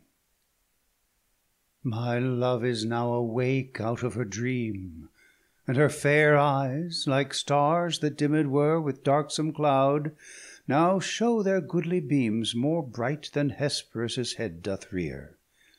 Come now, ye damsels, daughters of delight, Help quickly her to dight; But first come, ye fair Hours, which were begot In Jove's sweet paradise of day and night, Which to the seasons of the year allot, And all that ever in this world is fair, Do make and still repair. And ye, three handmaids of the Cyprian queen, The which do still adorn her beauty's pride, Help to adorn my beautifullest bride; And as ye her array, still throw between Some graces to be seen; And as ye use to Venus, to her sing, The whiles the wood shall answer, and your echo ring. Now is my love all ready forth to come; Let all the virgins therefore well await, And ye fresh boys that tend upon her groom, Prepare yourselves, for he is coming straight. Set all your things in seemly good array, Fit for so joyful day, The joyfulst day that ever sun did see. Fair Sun, show forth thy favourable ray, And let thy lifeful heat not fervent be, For fear of burning her sunshiny face, Her beauty to disgrace. O fairest Phoebus, father of the Muse, If ever I did honour thee aright, Or sing the thing that mote thy mind delight, Do not thy servants' simple boon refuse, But let this day, let this one day be mine, Let all the rest be thine; Then I thy sovereign praises loud will sing, That all the woods shall answer, and their echo ring. Note: Crowd, violin. Hark how the minstrels 'gin to shrill aloud Their merry music, that resounds from far, The pipe, the tabor, and the trembling crowd, That well agree withouten breach or jar. But most of all the damsels do delight, When they their timbrels smite, And thereunto do dance and carol sweet, That all the senses they do ravish quite the whiles the boys run up and down the street, Crying aloud with strong confused noise, As if it were one voice, Hymen, your Hymen, Hymen, they do shout, That even to the heavens their shouting shrill Doth reach, and all the firmament doth fill.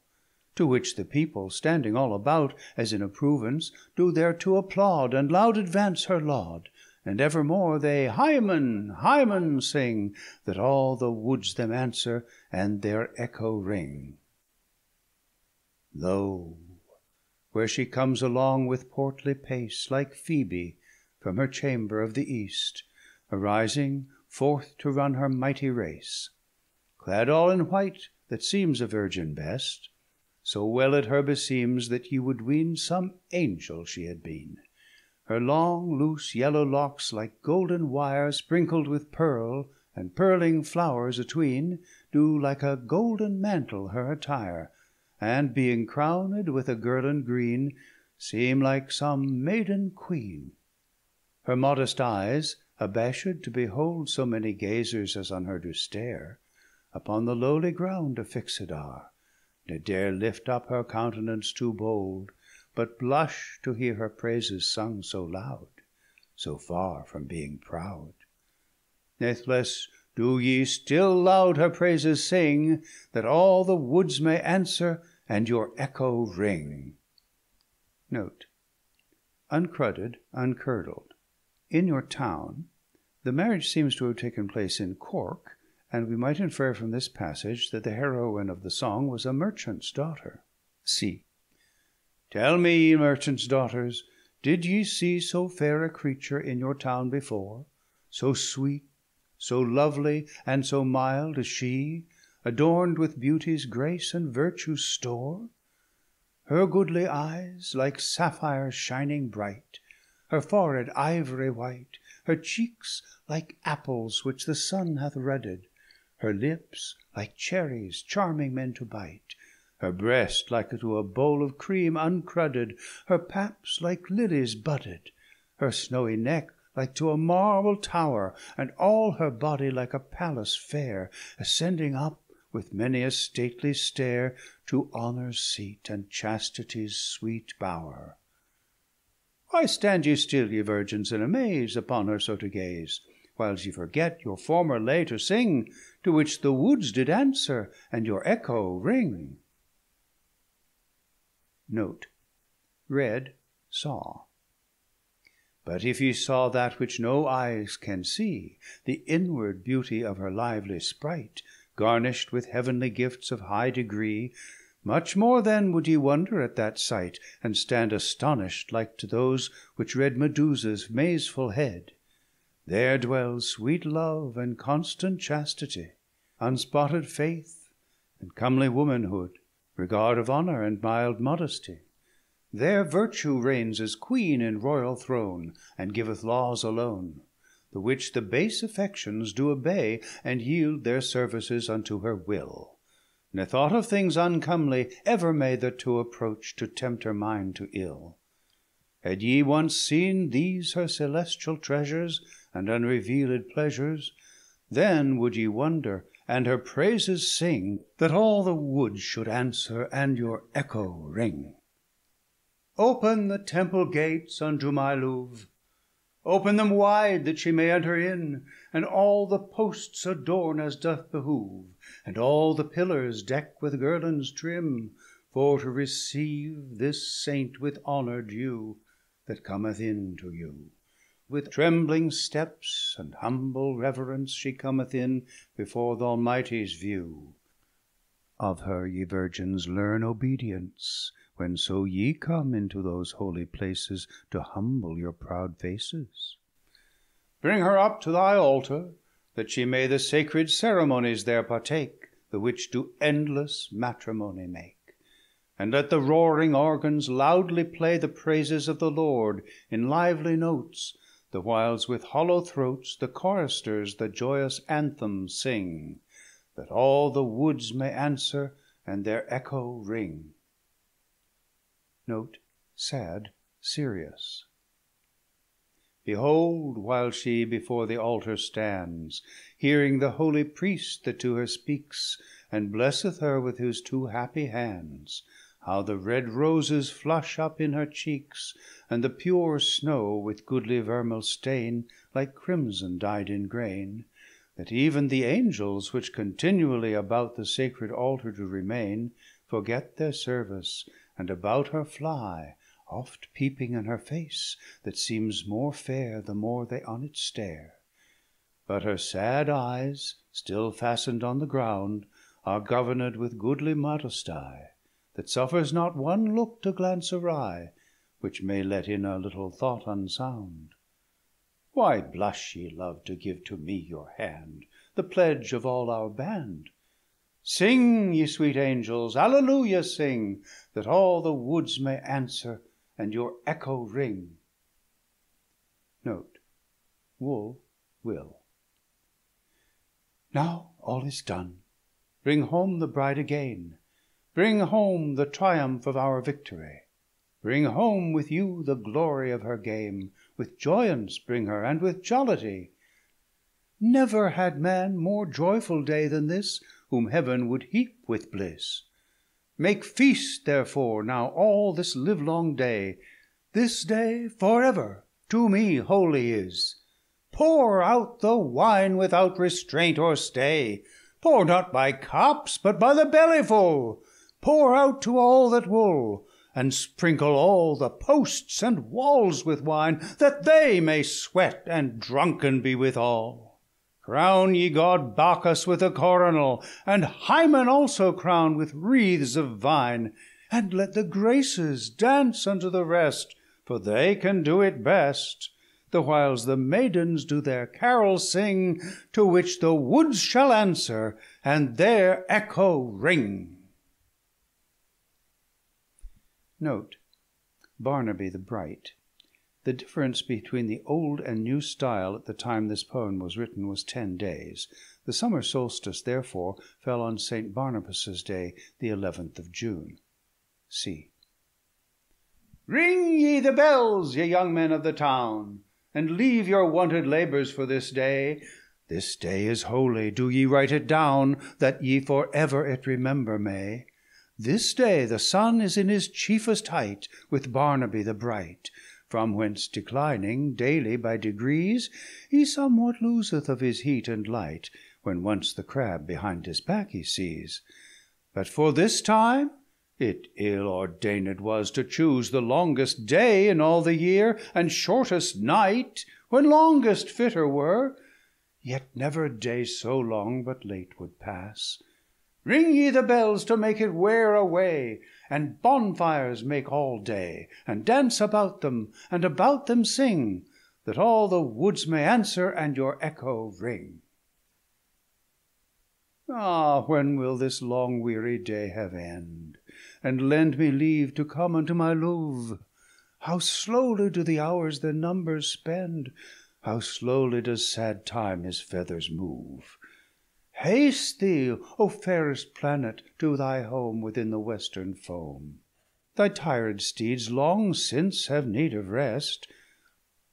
Long though it be, at last I see it gloom, And the bright evening star with golden crest Appear out of the east. Fair child of beauty, glorious lamp of love, That all the host of heaven in ranks dost lead, And guidest lovers through the night's sad dread, how cheerfully thou lookest from above, And seem'st to laugh atween thy twinkling light, As joying in the sight of these glad many, Which for joy do sing, That all the woods them answer, and their echo ring. Now cease, ye damsels, your delights forepast; Enough it is that all the day was yours; Now day is done, and night is nighing fast. Now bring the bride unto the bridal bowers. The night is come; now soon her disarray, And in her bed her lay; Lay her in lilies and in violets, And silken curtains over her display, And odor'd sheets, and arras coverlets. Behold how goodly my fair love does lie In proud humilitie; Like unto Maia, when as Jove her took In Tempe, lying on the flowery grass 'Twixt sleep and wake after she weary was With bathing in the Acidalian brook. Now it is night, ye damsels may be gone, And leave my love alone; And leave likewise your former lay to sing; The woods no more shall answer, nor your echo ring.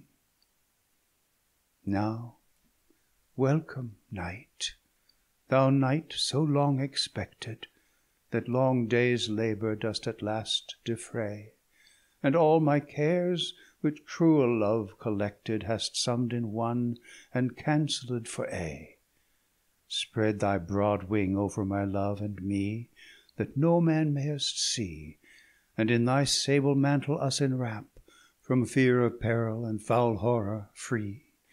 Let no false treason seek us to entrap, nor any dread disquiet once annoy The safety of our joy.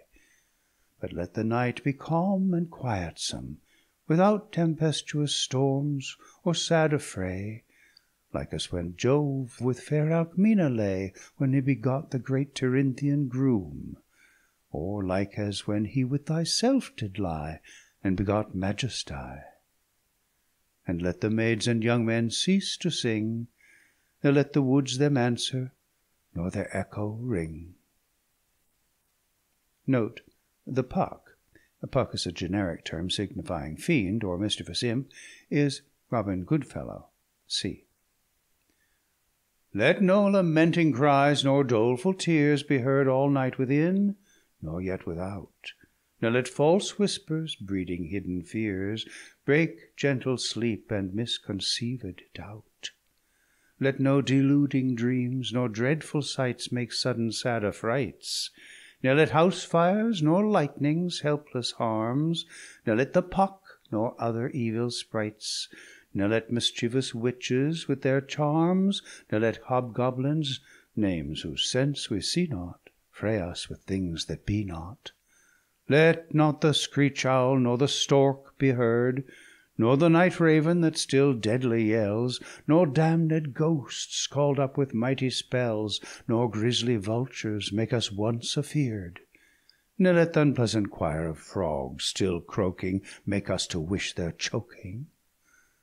Let none of these their dreary accents sing, Ne let the woods them answer, nor their echo ring; But let still silence true night watches keep, That sacred peace may in assurance reign, And timely sleep, when it is time to sleep, May pour his limbs forth on your pleasant plain the whiles an hundred little winged Loves, Like divers feather'd doves, shall fly and flutter Round about the bed, and in the secret dark, That none reproves, their pretty stealths shall work, And snares shall spread, to filch away Sweet snatches of delight, conceal'd through covert night.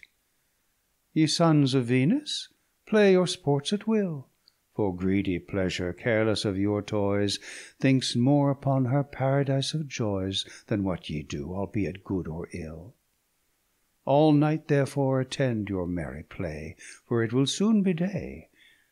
Now none doth hinder you that say or sing, Ne will the woods now answer, nor your echo ring. Note, The Latmian Shepherd, Endymion. Who is the same which at my window peeps? Or whose is that fair face that shines so bright? Is it not Cynthia, she that never sleeps, But walks about high heaven all the night? O fairest Goddess, do thou not envy My love with me to spy, for thou likewise Didst love, though now unthought, and for a fleece Of wool, which privily the Latmian shepherd Once unto thee brought, his pleasures with thee wrought. Therefore to us be favourable now, And sith of womens labours thou hast charge, And generation goodly dost enlarge, Incline thy will to effect our wishful vow, And the chaste womb inform with timely seed, That may our comfort breed, till which we cease Our hopeful hap to sing, ne let the woods Us answer, nor our echo ring. And thou, great Juno, which with awful might The laws of wedlock still dost patronise, And the religion of the faith first plight With sacred rites hast taught to solemnise, And eke for comfort often called art Of women in their smart, Eternally bind thou this lovely band, And all thy blessings unto us impart. And thou, glad Genius, in whose gentle hand The bridal bower and genial bed remain, Without blemish or stain, And the sweet pleasures of their loves delight With secret aid dost succour and supply, Till they bring forth the fruitful progeny. Send us the timely fruit of this same night; And thou, fair Hebe, and thou, Hymen free, Grant that it may so be; till which we cease Your further praise to sing, Ne any woods shall answer, nor your echo ring. And ye high heavens, the temple of the gods, In which a thousand torches flaming bright do burn, That to us wretched earthly clods In dreadful darkness lend desired light; And all ye powers which in the same remain, More than we men can feign, Pour out your blessing on us plenteously, And happy influence upon us rain, That we may raise a large posterity, Which from the earth, which they may long possess With lasting happiness, up to your haughty palaces may mount, And for the guerdon of their glorious merit, May heavenly tabernacles there inherit, Of blessed Saints for to increase the count. So let us rest, sweet love, in hope of this, And cease till then our timely joys to sing. The woods no more us answer, nor our echo ring. Song made in you of many ornaments, With which my love should duly have been decked, Which cutting off through hasty accidents, Ye would not stay your due time to expect, But promised both to recompense, Be unto her a goodly ornament, And for short time an endless monument.